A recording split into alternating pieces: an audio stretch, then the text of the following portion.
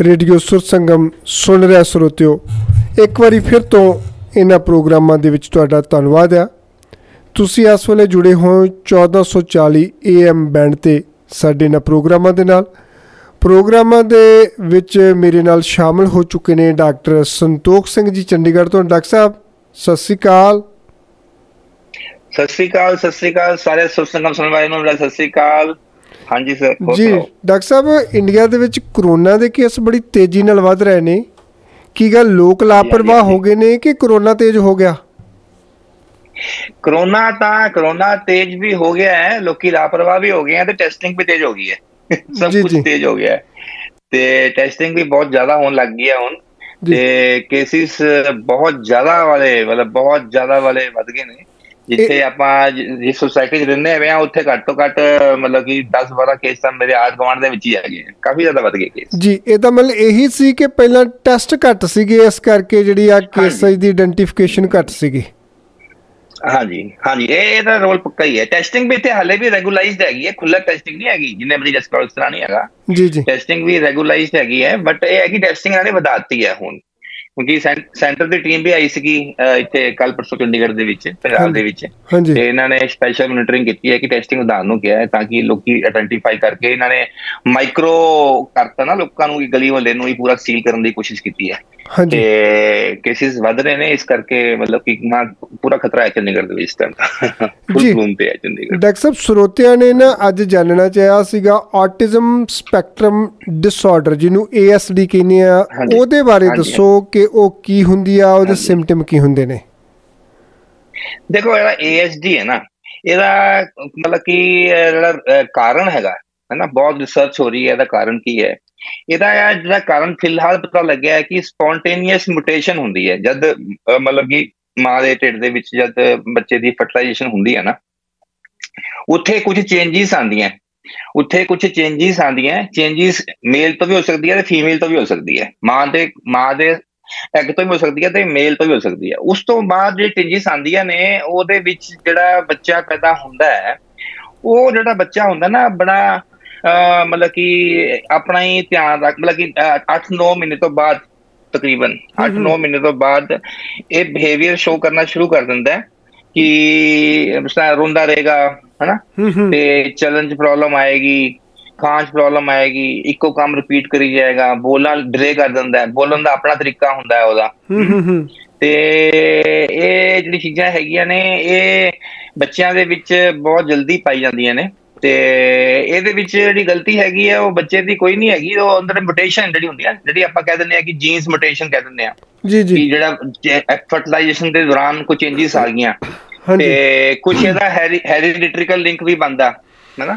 ਹਾਂਜੀ। ਇਹ ਖਾਨਦਾਨੀ ਲਿੰਕ ਵੀ ਬੰਦਾ ਤੇ ਉਸ ਕਰਕੇ ਜਿਹੜੇ ਆ ਬੱਚੇ ਹੁੰਦੇ ਨੇ ਆਟਿਜ਼ਮ ਸਪੈਕਟਰਮ ਡਿਸਆਰਡਰ ਦੇ ਇਹ ਮਤਲਬ ਕਿ ਪੜ੍ਹਾਈ ਵੱਲ ਧਿਆਨ ਬਿਲਕੁਲ ਨਹੀਂ ਹੁੰਦਾ ਇਹਨਾਂ ਦਾ ਹੈਨਾ? ਤੇ ਮਤਲਬ ਕਿ ਹੋਰ ਇਹਨਾਂ ਨੇ ਇੱਕੋ ਚੀਜ਼ ਬਾਰ-ਬਾਰ ਕਰੀ ਜਾਣੀ ਹੈ। ਜੀ ਜੀ। ਇੱਕੋ ਚੀਜ਼ ਨਾ ਬਾਰ-ਬਾਰ ਕਰੀ ਜਾਣੀ ਹੈ। ਕੋਈ ਕੰਮ ਕਰਨ ਦੇ ਵਿੱਚ ਪਰੇਸ਼ਾਨੀ ਆਉਂਦੀ ਹੈ ਸਿੱਖਣ 'ਚ ਪਰੇਸ਼ਾਨੀ ਆਉਂਦੀ ਹੈ। ਯਦੀ ਛੋਟੇ ਬੱਚੇ ਨੂੰ ਅਗਰ 18 ਮਹੀਨੇ ਦੇ ਬੱਚੇ ਨੂੰ ਇਸ ਤਰ੍ਹਾਂ ਪ੍ਰੋਬਲਮ ਆਉਂਦੀ ਹੈ ਤੇ ਡਾਕਟਰ ਕੋਲ ਇਹ ਚੈੱਕ ਕਰਵਾ ਲੈਣਾ ਚਾਹੀਦਾ ਹੈ। ਕਿ ਆਟਿਜ਼ਮ ਸਪੈਕਟਰਮ ਡਿਸਆਰਡਰ ਤਾਂ ਨਹੀਂ ਹੈਗਾ ਕਿਤੇ। ਜੀ। ਇਹਦਾ ਜਿਹੜਾ ਹੋਰ ਮੈਂ ਤੁਹਾਨੂੰ ਬਰੀਕੀ ਵਿੱਚ ਦੱਸਾਂ ਕਿ ਇਹ ਜਿਹੜਾ ਡਿਸਆਰਡਰ ਹੈਗਾ ਹੈ ਆਪਣਾ ਜਿਹੜਾ ਸੈੱਲ ਹੈ ਨਾ ਸੈੱਲ ਦੇ ਵਿੱਚ ਇੱਕ ਮਾਈਟੋਕੌਂਡਰੀਆ ਹੁੰਦਾ ਮਤਲਬ ਇੱਕ ਚੀਜ਼ ਹੁੰਦੀ ਹੈ ਮਾਈਟੋਕੌਂਡਰੀਆ ਜਿਹਦੇ ਵਿੱਚ ਬੱਚੇ ਦੀ એનર્ਜੀ ਆਉਂਦੀ ਹੈ એનર્ਜੀ ਬਣਦੀ ਹੈ। ਉੱਥੇ ਦਾ ਵੀ ਡਿਸਆਰਡਰ ਪਾਇਆ ਗਿਆ ਠੀਕ ਹੈ। ਉਹ ਮਾਈਟੋਕੌਂਡਰੀਆ ਦੇ ਵਿੱਚ ਉਹ ਕੰਮ ਨਹੀਂ ਕਰਦਾ ਬੱਚੇ ਦੀ એનર્ਜੀ ਨਹੀਂ ਆਂਦੀ ਬੱਚਾ ਵੀਕ ਰਹਿੰਦਾ ਹੈ ਬੱਚਾ ਇੱਕ ਪਾਸੇ ਦੇਖੀ ਜਾਏਗਾ ਇੱਕੋ ਹੀ ਪਾਸੇ ਦੇਖੀ ਜਾਏਗਾ। ਸਿੱਖਣ ਦੇ ਵਿੱਚ ਲਰਨਿੰਗ 'ਚ ਪ੍ਰੋਬਲਮ ਆਂਦੀ ਆ ਹਨਾ? ਤੇ ਇੱਥੇ ਵਿਚਾਰੇ ਇੱਥੇ ਜਿਹੜੇ ਬੱਚੇ ਆਟਿਜ਼ਮ ਸਪੈਕਟਰਮ ਡਿਸਆਰਡਰ ਦੇ ਹੈਗੇ ਆ ਮਤਲਬ ਕਿ ਇਹ ਦੁਖੀ ਹੁੰਦੇ ਆ ਆਪ ਵੀ ਦੁਖੀ ਹੁੰਦੇ ਆ ਤੇ ਪੇਰੈਂਟਸ ਤਾਂ ਦੁਖੀ ਹੋਣਗੇ ਹੀ ਨਾਲ ਨਾ ਇਹਦੀ ਤੇ ਪੜ੍ਹਾਈ ਦੇ ਵਿੱਚ ਇਹ ਬਿਲਕੁਲ ਪਿੱਛੇ ਰਹਿ ਜਾਂਦੇ ਹੈਗੇ ਆ ਪੜ੍ਹਾਈ 'ਚ ਬਹੁਤ ਪਿੱਛੇ ਰਹਿ ਜਾਂਦੇ ਆ। ਇਹ ਕਮਿਊਨੀਕੇਟ ਨਹੀਂ ਕਰ ਪਾਉਂਦੇ। ਇਹ ਕਮਿਊਨੀਕੇਟ ਨਹੀਂ ਕਰ ਪਾਉਂਦੇ। ਇਹਦਾ ਵੱਡੇ ਹੁੰਦੇ ਆ ਬੱਚੇ ਥੋੜੇ ਜਿਹੇ ਜਦ ਸਾਲ 2 ਸਾਲ 3 ਸਾਲ ਦੇ ਹੋ ਜਾਂਦੇ ਆ। ਜੀ ਜੀ। ਤੇ ਇਹਨਾਂ ਤੁਰੰਤ ਚ ਪ੍ਰੋਬਲਮ ਆਂਦੀ ਆ। ਕੱਪੜੇ ਨਹੀਂ ਪਾ ਪਾਉਂਦੇ ਆਪਣੇ। ਛੋਟੇ ਛੋਟੇ ਕੰਮ ਜਿਹੜੇ ਹੁੰਦੇ ਨਾ ਕਰਦੇ। ਹਾਂਜੀ। ਛੋਟੇ ਛੋਟੇ ਕੰਮ ਜਿਹੜੇ ਆਪ ਆਪ ਦੇ ਕਰਨੇ ਹੁੰਦੇ ਆ। ਤੇ ਉਹਦੇ ਵਿੱਚ ਇਹ ਪ੍ਰੋਬਲਮ ਆਂਦੀ ਹੈ ਤੇ ਇਹਦੇ ਦੋ ਤਿੰਨ ਤਰੀਕੇ ਹੁੰਦੇ ਆ ਅਗਰ ਮੈਂ ਤੁਹਾਨੂੰ ਸਾਇੰਟੀਫਿਕਲੀ ਦੱਸਾਂ। ਇੱਕ ਜਿਹੜਾ ਮੇਨ ਹੋ ਗਿਆ ਆਊਟਿਸਟਿਕ ਡਿਸਆਰਡਰ ਜਿਹੜਾ ਮੇਨ ਆਪਾਂ ਆਊਟਿਜ਼ਮ ਕਹਿੰਦੇ ਆ। ਜਿਹੜਾ ਕਲਾਸੀਕਲ ਹੁੰਦਾ ਹੈ। ਇੱਕ ਹੁੰਦਾ ਹੈ ਐਸਪਰਗਰ ਐਸਪਰਗਰ ਸਿੰਡਰੋਮ ਉਹਨੂੰ ਆਪਾਂ ਮਤਲਬ ਪੰਜਾਬੀ ਵਿੱਚ ਸਮਝਾਵਾਂ ਤਾਂ ਮਤਲਬ ਇਹ ਹੈ ਕਿ ਮੇਨ ਡਿਸਆਰਡਰ ਤੋਂ ਥੋੜਾ ਘੱਟ ਹੋਵੇ। ਜੀ। ਇਹ ਇਹ ਇਹ ਟ੍ਰੀਟੇਬਲ ਹੈ। ਇਹ ਟ੍ਰੀਟੇਬਲ ਹੈ। ਇਹ ਬੱਚੇ ਕਾਫੀ ਹੱਦ ਤੱਕ ਨਿਕਲ ਜਾਂਦੇ ਆ ਅੱਗੇ। ਇਹਨੂੰ ਬੋਲਦੇ ਆ ਐਸਪਰਗਰ ਸਿੰਡਰੋਮ ਇੱਕ ਹੁੰਦਾ ਹੈ ਕਿ ਪਰਵੇਸਿਵ ਡਿਵੈਲਪਮੈਂਟ ਡਿਸਆਰਡਰ ਇਹ ਚ ਬੱਚਾ ਕੀ ਹੁੰਦਾ ਹੈ ਕਿ ਨਾ ਬੱਚਾ ਮਤਲਬ ਕਿ ਉਹਦੀ ਕੋਆਰਡੀਨੇਸ਼ਨ ਨਹੀਂ ਹੈ ਲੈਫਟ ਰਾਈਟ ਦੀ। ਜੀ। ਲੈਫਟ ਰਾਈਟ ਦੀ ਕੋਆਰਡੀਨੇਸ਼ਨ ਨਹੀਂ ਹੈ। ਲੈਫਟ ਹੈਂਡ ਤੋਂ ਰਾਈਟ ਹੈਂਡ ਵਿੱਚ ਚੀਜ਼ ਨਹੀਂ ਪਕੜ ਸਕਦਾ। ਐਸੀ ਐਸੀ ਚੀਜ਼ਾਂ ਆਉਂਦੀਆਂ ਦੋ ਤਿੰਨ ਇਹਦੀਆਂ ਮਤਲਬ ਵੈਰਾਈਟੀਆਂ ਦੀਆਂ ਆਉਂਦੀਆਂ ਨੇ। ਬਾਕੀ ਇਹ ਹੈ ਕਿ ਬੱਚੇ ਜਿਹੜੇ ਹੈਗੇ ਨੇ ਇਹ ਇਹਨਾਂ ਨੂੰ ਖਾਸ ਖਿਆਲ ਰੱਖਣਾ ਪੈਂਦਾ ਹੈ ਪੇਰੈਂਟਸ ਦਾ ਪਿਆਰ ਦੇ ਨਾਲ ਪਾਲਣਾ ਪੈਂਦਾ ਹੈ ਐਕਸਟਰਾ ਪਿਆਰ ਦੇ ਨਾਲ। ਬਹੁਤ ਜਿੱਦੀ ਹੁੰਦੇ ਆ ਬਹੁਤ ਜਿੱਦੀ ਹੁੰਦੇ ਨੇ ਬੱਚੇ। ਜੀ। ਤੇ ਇਹ ਪ੍ਰੋਬਲਮ ਦੋਨਾਂ ਵਾਸਤੇ ਹੈਗੀ ਹੈ ਪੇਰੈਂਟਸ ਵਾਸਤੇ ਵੀ ਹੈਗੀ ਹੈ ਤੇ ਆਪਣੇ ਬੱਚੇ ਵਾਸਤੇ ਤਾਂ ਹੈਗੀ ਹੈਗੀ ਹੈ। ਤੇ ਬਾਕੀ ਇਹਦੀਆਂ ਕਈ ਥੈਰੇਪੀਜ਼ ਆ ਗਈਆਂ ਨੇ ਕਈ ਇਹਦੇ ਹੱਲ ਨਿਕਲ ਗਏ ਨੇ ਅੱਜਕੱਲ ਤੇ ਬਾਕੀ ਇਹਦੇ ਵਿੱਚ ਕੋਈ ਖਾਸ ਜਿਸ ਤਰ੍ਹਾਂ ਆਪਾਂ ਕਹੀਏ ਕਿ ਕੋਈ ਖਾਸ ਕਾਰਨ ਹੋਵੇ ਹਨਾ? ਜੀ ਜੀ। ਹੋਣ ਦਾ। ਹਾਂਜੀ। ਉਹ ਉਹ ਚੀਜ਼ ਨਹੀਂ ਪਾਈ ਗਈ ਹੈ। ਇਹ। ਮੁਟੇਸ਼ਨ ਹੈ। ਮੁਟੇਸ਼ਨ ਮਤਲਬ ਕਿ ਬਦਲਾਵ ਆ ਗਿਆ। ਜੀ। ਇਹ ਬਦਲਾਵ ਆ ਗਿਆ। ਕਿਸੇ ਦਾ ਕੋਈ ਵੀ ਬੱਚਾ ਜਿਹੜਾ ਹੈਗਾ ਹੈ, ਇਹਦਾ ASD ਦਾ ਇਹਦਾ ASD ਦਾ ਮਤਲਬ ਕਿ ਇਹਦਾ ਹੋ ਸਕਦਾ ਹੈ ਪੇਸ਼ੈਂਟ ਇਹਦੇ ਵਿੱਚ ਕੋਈ ਕ੍ਰਾਈਟੇਰੀਆ ਨਹੀਂ ਹੈਗਾ ਕਿ ਆ ਮਾਂ ਦੇ ਵਿੱਚ ਕਮੀ ਹੈਗੀ ਹੈ ਪਿਓ 'ਚ ਕਮੀ ਹੈਗੀ ਹੈ ਤੇ ਬੱਚਾ ASD ਹੋਏਗਾ। ਇਸ ਤਰ੍ਹਾਂ ਕੋਈ ਟੈਸਟ ਨਹੀਂ ਹੈਗਾ। ਇਹਦਾ ਜਦ ਫਰਟੀਲਾਈਜੇਸ਼ਨ ਹੁੰਦੀ ਹੈ। ਜਦ ਮਾਂ ਦੇ ਢਿੱਡ ਦੇ ਵਿੱਚ ਪੇਟ ਦੇ ਵਿੱਚ ਫਰਟੀਲਾਈਜੇਸ਼ਨ ਹੁੰਦੀ ਹੈ ਉੱਥੇ ਚੇਂਜਸ ਆਉਂਦੀਆਂ ਨੇ ਉਸ ਟਾਈਮ ਚੇਂਜਸ ਆਉਂਦੀਆਂ ਨੇ। ਜੀ ਡਾਕਟਰ ਸਾਹਿਬ ਇਹਦੇ ਵਿੱਚ ਮਾਂ-ਬਾਪ ਦੀ ਏਜ ਨਾਲ ਵੀ ਕੋਈ ਇਸ ਏਐਸਡੀ ਦਾ ਸੰਬੰਧ। ਹੁੰਦਾ ਕਿ ਨਹੀਂ? ਹਾਂ ਹਾਂ ਇਹ ਮੰਨਿਆ ਗਿਆ ਕਿ ਜਿਹੜੇ ਮਾਪੇ ਜਿਹੜੇ ਵੱਡੀ ਉਮਰ ਦੇ ਵਿੱਚ ਵੱਡੀ ਉਮਰ ਦੇ ਵਿੱਚ ਇੱਕ ਸਾਇੰਸ ਇੱਕ ਸਟੱਡੀ ਹੋਈ ਸੀ ਕਿ ਦੇਖਿਆ ਜਾਵੇ ਕਿ ਮਾਪੇ ਦੀ ਮਤਲਬ ਕਿ ਏਜ ਦੀ ਸਟੱਡੀ ਕੀਤੀ ਜਾਵੇ ਜਿਨ੍ਹਾਂ ਦੇ ਹੁੰਦੇ ਨੇ। ਅਗਰ ਵੱਡੀ ਉਮਰ ਦੇ ਵਿੱਚ ਫਰਟੀਲਾਈਜੇਸ਼ਨ ਹੁੰਦੀ ਹੈ ਉੱਥੇ ਮੁਟੇਸ਼ਨ ਹੋਣ ਦੇ ਚਾਂਸ ਜ਼ਿਆਦਾ ਹੁੰਦੇ ਨੇ। ਹੂੰ। ਮੁਟੇਸ਼ਨ ਹੋਣ ਦੇ ਚਾਂਸ ਜ਼ਿਆਦਾ ਹੁੰਦੇ ਨੇ ਤੇ ਅਗਰ ਮਾਪੇ ਅਗਰ ਵੱਡੀ ਉਮਰ ਦੇ ਵਿੱਚ ਬੱਚਾ ਪੈਦਾ ਕਰਦੇ ਨੇ ਤੇ ਉਹਨਾਂ ਦੇ ਵਿੱਚ ਇਹ ਚਾਂਸਿਸ ਆਫ ਏਐਸਡੀ ਚਾਈਲਡ ਇਸ ਮੋਰ ਮਤਲਬ ਕਿ ਉਹ ਜ਼ਿਆਦਾ ਚਾਂਸ ਮੰਨਦੇ ਨੇ। ਜਿਹੜੀ ਯੰਗਰ ਫਰਟੀਲਾਈਜੇਸ਼ਨ ਹੈਗੀ ਹੈ ਜਿਸ ਤਰ੍ਹਾਂ ਮਤਲਬ ਛੋਟੀ ਉਮਰ ਦੇ ਵਿੱਚ 30 25 30 ਸਾਲ ਉਹਦੇ ਉਹਦੇ ਵਿੱਚ ਚਾਂਸਿਸ ਘੱਟ ਮੰਨਦੇ ਆ ਅਕੋਰਡਿੰਗ ਟੂ ਸਟੱਡੀ ਜੀ। ਤੇ ਬਾਕੀ ਤੁਹਾਨੂੰ ਸਮਝਾਇਆ ਕਿ ਇਹਦੇ ਵਿੱਚ ਕੋਈ ਰੂਲ ਰੂਲ ਰੈਗੂਲੇਸ਼ਨ ਪ੍ਰੋਪਰ ਹਾਲੇ ਸਟੱਡੀ ਚੱਲਦੀ ਪਈ ਹੈ ਆਰਡਰ ਏਐਸਡੀ ਦੀ ਬਹੁਤ ਸਟੱਡੀ ਚੱਲਦੀ ਪਈ ਹੈ ਕਿ ਇਹਨੂੰ ਕਿਵੇਂ ਟੈਕਲ ਕੀਤਾ ਜਾਵੇ ਕਿਉਂਕਿ ਇਹ ਇਹ ਦੇਖੋ ਨਾ ਬੱਚਾ ਵੀ ਪਰੇਸ਼ਾਨ ਮਾਂ-ਬਾਪ ਵੀ ਪਰੇਸ਼ਾਨ। ਬਿਲਕੁਲ ਬਿਲਕੁਲ। ਤੇ ਅਸੀਂ ਤਾਂ ਆਪਣਾ ਬੱਚੇ ਤਾਂ ਹੀ ਪੈਦਾ ਕਰਦੇ ਨਾ ਕਿ ਆਪਾਂ ਖੁਸ਼ ਰਹੀਏ? ਹਾਂਜੀ। ਤੇ ਬਿਮਾਰ ਬੱਚਾ ਪੈਦਾ ਕਰਕੇ ਤਾਂ ਵੈਸੇ ਹੀ ਬੰਦਾ ਸਮਝੋ ਮੇਰੀ ਗੱਲ ਬੱਚਾ ਤਾਂ ਬੱਚਾ ਹੋ ਗਿਆ। ਜਦ ਬੱਚਾ ਹੋ ਗਿਆ ਤੇ ਮਾਂ-ਬਾਪ ਦਾ ਪਿਆਰਾ ਹੁੰਦਾ ਹੈ। ਕੋਈ ਮਾਂ-ਬਾਪ ਨਹੀਂ ਚਾਹੇਗਾ ਕਿ ਆਪਣੇ ਬੱਚੇ ਨੂੰ ਕੋਈ ਵੀ ਤਕਲੀਫ ਹੁੰਦੀ ਹੈ ਉਹਦਾ ਪ੍ਰੋਪਰ ਇਲਾਜ ਕਰਾਏਗਾ ਸਾਇੰਸ ਕਿਸ ਵਾਸਤੇ ਬਣੀ ਹੋਈ ਹੈ ਠੀਕ ਕਰਨ ਵਾਸਤੇ ਬਣੀ ਹੋਈ ਹੈ ਨਾ। ਬਟ ਸਾਇੰਸ ਇੱਥੇ ਇਸ ਬਿਮਾਰੀ ਨੂੰ ਕਾਫੀ ਹੱਦ ਤੱਕ ਮਤਲਬ ਕੰਟਰੋਲ ਕਰ ਪਾਈ ਹੈ ਕੰਟਰੋਲ ਕਰ ਪਾਈ ਹੈ ਟ੍ਰੀਟ ਨਹੀਂ ਕਰ ਪਾਈ ਪੂਰੀ ਪੂਰੀ ਜੀ। ਤੇ ਕਿਸੇ ਕਿਸੇ ਕੇਸ ਵਿੱਚ ਤੁਹਾਨੂੰ ਸਮਝਾਇਆ ਸੀ ਜਿਹੜਾ ਸੈਕੰਡ ਸਟੇਜ ਹੈਗੀ ਹੈ ਐਸਪਰਗਸ ਜਿਹੜਾ ਸਿੰਡਰੋਮ ਹੈਗਾ ਮਾਈਲਡ ਹੈ ਉਹ ਬੱਚੇ ਤਾਂ ਕਾਫੀ ਅੱਗੇ ਨਿਕਲ ਜਾਂਦੇ ਨੇ। ਉਹਨਾਂ ਨੂੰ ਨਹੀਂ ਫ਼ਰਕ ਪੈਂਦਾ ਉਹ ਬੱਚੇ ਆਪਣਾ ਬਿਜ਼ਨਸ ਵੀ ਕਰ ਰਹੇ ਆ ਉਹ ਬੱਚੇ ਆਪਣਾ ਕੰਮ ਵੀ ਕਰ ਰਹੇ ਨੇ। ਲੇਕਿਨ ਜਿਹੜਾ ਏਐਸਡੀ ਪੇਸ਼ੈਂਟ ਹੈਗਾ ਹੈ, ਉਹਨਾਂ ਨੂੰ ਪ੍ਰੋਪਰ ਡਾਈਟ ਦਾ ਵੀ ਕੰਟਰੋਲ ਬਾਅਦ ਕਰਨਾ ਪੈਂਦਾ ਮਤਲਬ ਕਿ ਕੰਮ ਥੋੜਾ ਜਿਹਾ ਫੀਸੀ ਹੈ ਮਤਲਬ ਕਿ ਅੜੰਜਾ ਵਾਲਾ ਕੰਮ ਆ। ਤੇ ਇਹ ਅਗਰ ਕੋਈ ਸਾਇੰਸ ਦੇ ਨਾਲ ਪਹਿਲੇ ਹੀ ਚੀਜ਼ਾਂ ਠੀਕ ਹੋ ਜਾਣ ਤੇ ਉਹ ਬਹੁਤ ਵਧੀਆ ਚੀਜ਼ ਹੈ ਲੇਕਿਨ ਫਿਲਹਾਲ ਤਾਂ ਇਹ ਚੀਜ਼ਾਂ ਨਹੀਂ ਹੋ ਪਾ ਰਹੀਆਂ। ਇਹ ਮੋਟੇਸ਼ਨ ਦੇ ਨਾਲ ਹੀ ਚੇਂਜਸ ਆਉਂਦੀਆਂ ਡਾਕਟਰ ਸਾਹਿਬ ਤੁਸੀਂ। ਤੁਸੀਂ ਦੱਸਿਆ ਕਿ ਡਿਊਰਿੰਗ ਪ੍ਰੈਗਨੈਂਸੀ ਜਿਹੜੀ ਆ ਇਹ ਜਿਹੜੇ ਹਾਰਮੋਨ ਦੇ ਬਦਲਾਅ ਆ ਸਕਦੇ ਉਹ ਫਾਦਰ ਤੋਂ ਵੀ ਆ ਸਕਦੇ ਮਦਰ ਤੋਂ ਵੀ ਆ ਸਕਦੇ ਪਰ ਜਿਵੇਂ ਅਮੀਨੋ। ਟੈਸਟ ਅਮੀਨੋ ਟੈਸਟ ਕੀਤਾ ਜਾਂਦਾ ਵਾ ਉਹ ਵੀ ਕੁਝ। ਹੱਦ ਤੱਕ ਇਸ ਚੀਜ਼ ਲਈ ਪਹਿਲਾਂ ਪਤਾ ਲੱਗ ਸਕਦਾ ਦੇਖੋ ਹੈ ਹੀ ਇਹਦੇ ਵਿੱਚ ਇਹੀ ਹੈ ਕਿ ਜਿਹੜੇ ਪ੍ਰੋਟੀਨ ਦਾ ਹੀ ਪੰਗਾ ਹੈ ਨਾ ਸਾਰਾ ਜੀ ਜੀ ਇਹਦੇ ਵਿੱਚ ਜਿਹੜਾ ਪ੍ਰੋਟੀਨ ਖਾਸ ਪ੍ਰੋਟੀਨ ਦਾ ਜਿਹੜਾ ਕੋ ਸਾਡੇ ਦੇਖੋ ਸਾਡੇ ਜਿਹੜੇ ਕ੍ਰੋਮੋਸੋਮ ਦੇ ਵਿੱਚ ਹਰ ਪ੍ਰੋਟੀਨ ਨੂੰ ਕੰਟਰੋਲ ਕਰਨ ਵਾਸਤੇ ਬਣਾਉਣ ਵਾਸਤੇ ਉਹਦੇ ਚ ਉਹਦੇ ਵਿੱਚ ਰੀਡਿੰਗ ਹੈਗੀ ਹੈ ਸੌਫਟਵੇਅਰ ਲੱਗਿਆ ਹੋਇਆ। ਹਾਂਜੀ। ਡੀਐਨਏ ਦੇ ਵਿੱਚ ਸੌਫਟਵੇਅਰ ਲੱਗਿਆ ਹੋਇਆ ਠੀਕ ਹੈ।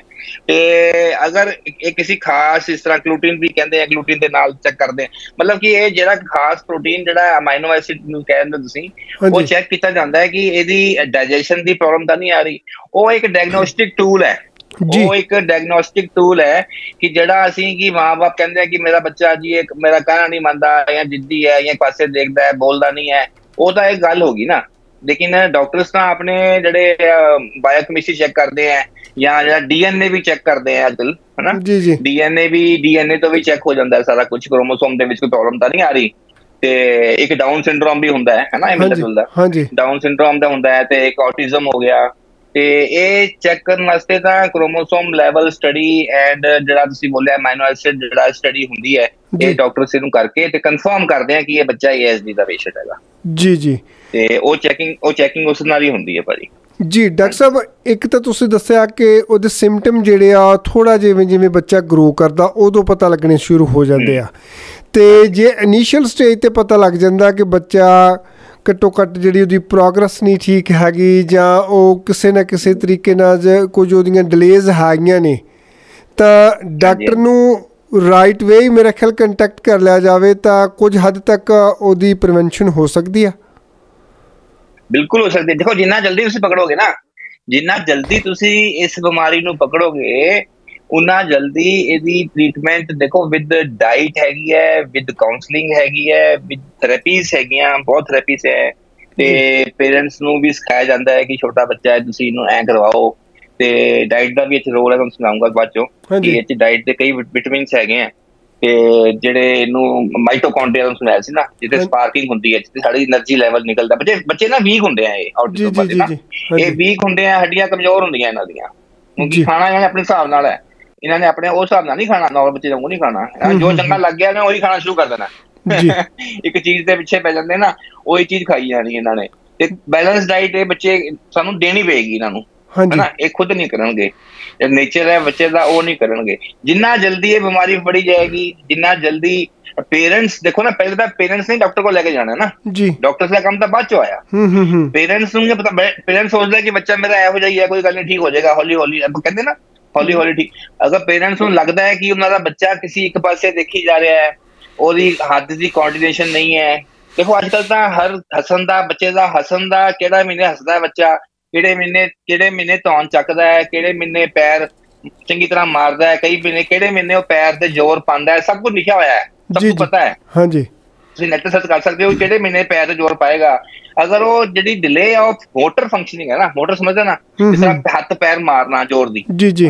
ਤੁਸੀਂ ਬੱਚੇ ਨੂੰ ਗੋਦੀ ਚੱਕਦੇ ਹੋ ਤੇ ਬੱਚਾ ਥੱਲੇ ਜ਼ੋਰ ਦੀ ਛਾਤੀ ਤੇ ਪੈਰ ਮਾਰ ਕੇ ਹੋਰ ਉੱਪਰ ਜਾਂਦਾ ਹਵਾ ਨੂੰ। ਜੀ ਜੀ। ਤੇ that is a very good symptom ਜਦ ਬੱਚਾ ਪੈਰ ਜ਼ੋਰ ਦੀ ਮਾਰ ਕੇ ਉੱਪਰ ਨੂੰ ਜਾਂਦਾ ਨਾ ਉਹਦੇ ਮਤਲਬ ਕਿ ਮੋਟਰ ਠੀਕ ਹੈ। ਮਤਲਬ ਉਹਦੇ ਜਿਹੜੇ ਆਰਗਨਸ ਨੇ ਮਸਲ ਜਿਹੜੇ ਹੈਗੇ ਆ ਨਰਵਸ ਹੈਗੀਆਂ ਜਿਹੜੀਆਂ ਹੱਡੀਆਂ ਹੈਗੀਆਂ ਸਿੰਕ ਕੰਮ ਕਰ ਰਹੀਆਂ ਆਪਸ ਵਿੱਚ ਮਿਲ ਜੁਲ ਕੇ ਕੰਮ ਕਰ ਰਹੀਆਂ। ਜੀ ਅਗਰ ਬੱਚੇ ਦੇ ਵਿੱਚ ਕੋਈ ਵੀ ਤੁਹਾਨੂੰ ਲੱਗਦੀ ਹੈ ਡੈਫੀਸ਼ੀਐਂਟ ਮਾੜੀ ਮੋਟੀ ਵੀ ਲੱਗਦੀ ਹੈ ਇਮੀਡੀਏਟ ਇਮੀਡੀਏਟ ਆਪਣੇ ਪੀਡੀਆਟ੍ਰੀਸ਼ੀਅਨ ਨੂੰ ਤੁਸੀਂ ਜਾਓ ਤੇ ਆਪਣੇ ਆਪ ਉਹ ਨਿਊਰੋ ਵਾਲੇ ਨੂੰ ਦਿਖਾਏਗਾ ਤੇ ਉਹ ਚੈੱਕ ਕਰਨਗੇ ਸਾਰਾ ਬੱਚੇ ਦਾ ਜੋ ਵੀ ਇਹਦੇ ਅਮੀਨੋ ਐਸਿਡ ਚੈੱਕ ਹੁੰਦੇ ਨੇ ਜਾਂ ਜਿਹੜਾ ਕ੍ਰੋਮੋਸੋਮਲ ਤੋਂ ਸੁਣਾਇਆ ਸੀ ਜਿਹੜੀ ਡੀਐਨਏ ਚੈੱਕ ਕਰਦੇ ਆ ਉਹ ਚੈੱਕ ਕਰਕੇ ਤੇ ਦੇ ਕੈਨ ਡਿਟੈਕਟ ਕੀ ਇਹ ਏਐਸਡੀ ਹੈ ਕਿ ਡਾਊਨ ਵੀ ਹੋ ਜਾਂਦਾ ਅੱਜਕੱਲ ਬੱਚੇ ਡਾਊਨ ਸਿੰਡਰੋਮ ਕਹਿੰਦੇ ਜਿਹਨੂੰ।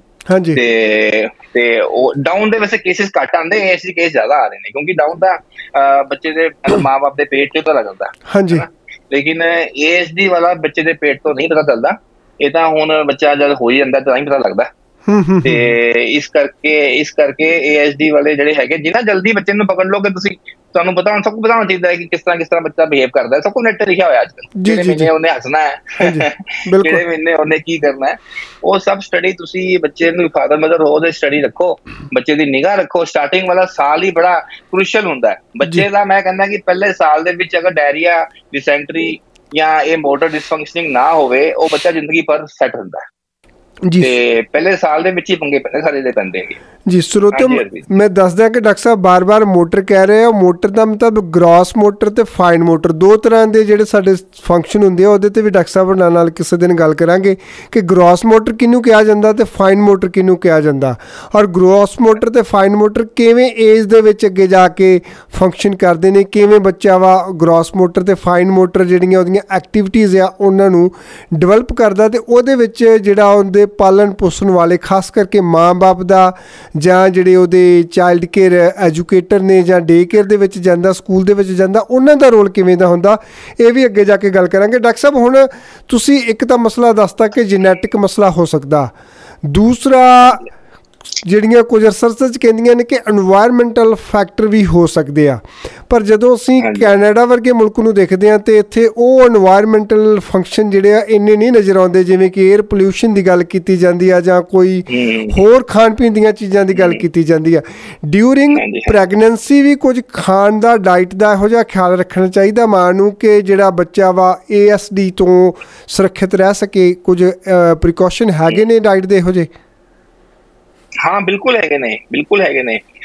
ਬੈਲੈਂਸ ਡਾਈਟ ਤਾਂ ਦੇਖੋ ਹੈਗੀ ਹੈਗੀ ਹੈ। ਬਾਕੀ ਇਹਦੇ ਵਿੱਚ ਜਿਹੜਾ ਅਸੀਂ ਜੋਰ ਦਿੰਨੇ ਆ ਅਸੀਂ ਨਾ ਅੱਜਕੱਲ ਸਿਰਫ ਪ੍ਰੈਗਨੈਂਸੀ ਹੋ ਗਈ ਤੇ ਅਸੀਂ ਆਪਾਂ ਆਇਰਨ ਤੇ ਕੈਲਸ਼ੀਅਮ ਹੈਨਾ? ਆਇਰਨ ਤੇ ਕੈਲਸ਼ੀਅਮ ਤੇ ਜੋਰ ਦਿੰਨੇ ਆ। ਲੇਕਿਨ ਇਸ ਤੋਂ ਇਲਾਵਾ ਤੁਹਾਨੂੰ ਮੈਂ ਦੱਸਦਾ ਕਿ ਇੱਕ ਓਮੇਗਾ 3 ਜੀ।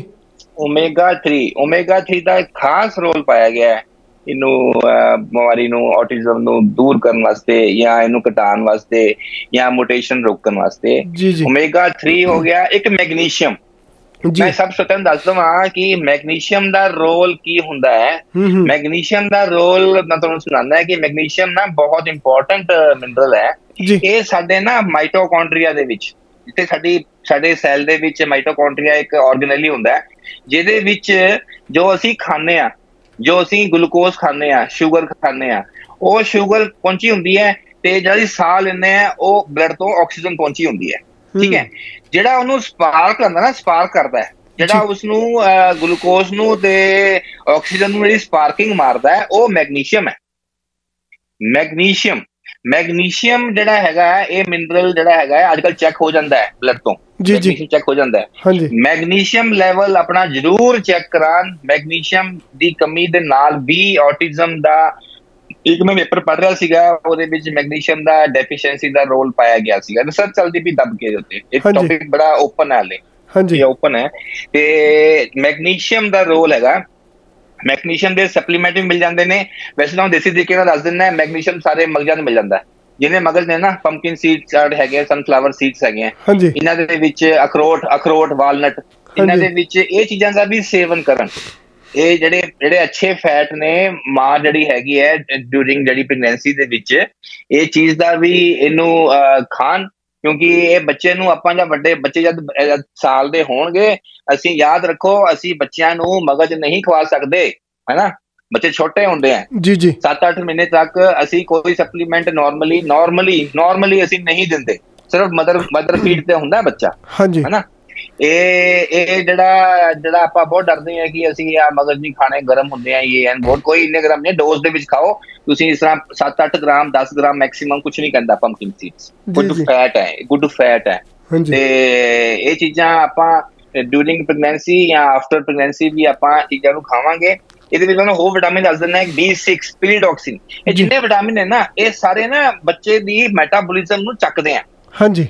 ਬੱਚੇ ਦੀ ਪ੍ਰੋਡਕਸ਼ਨ ਆਫ ਜਿਹੜੀ ਹੀਟ ਹੈ ਮਾਈਟੋਕੌਂਡਰੀਆ ਦੀ ਮੋਟਰ ਦੀ ਇਹ ਚੀਜ਼ਾਂ ਨੂੰ ਹੈਲਪ ਕਰਦੇ ਆ। ਤੇ ਵਿਟਾਮਿਨ ਸੀ ਇੱਕ ਡੀ ਇੱਕ ਡੀ ਦਾ ਬਹੁਤ ਰੋਲ ਹੈ।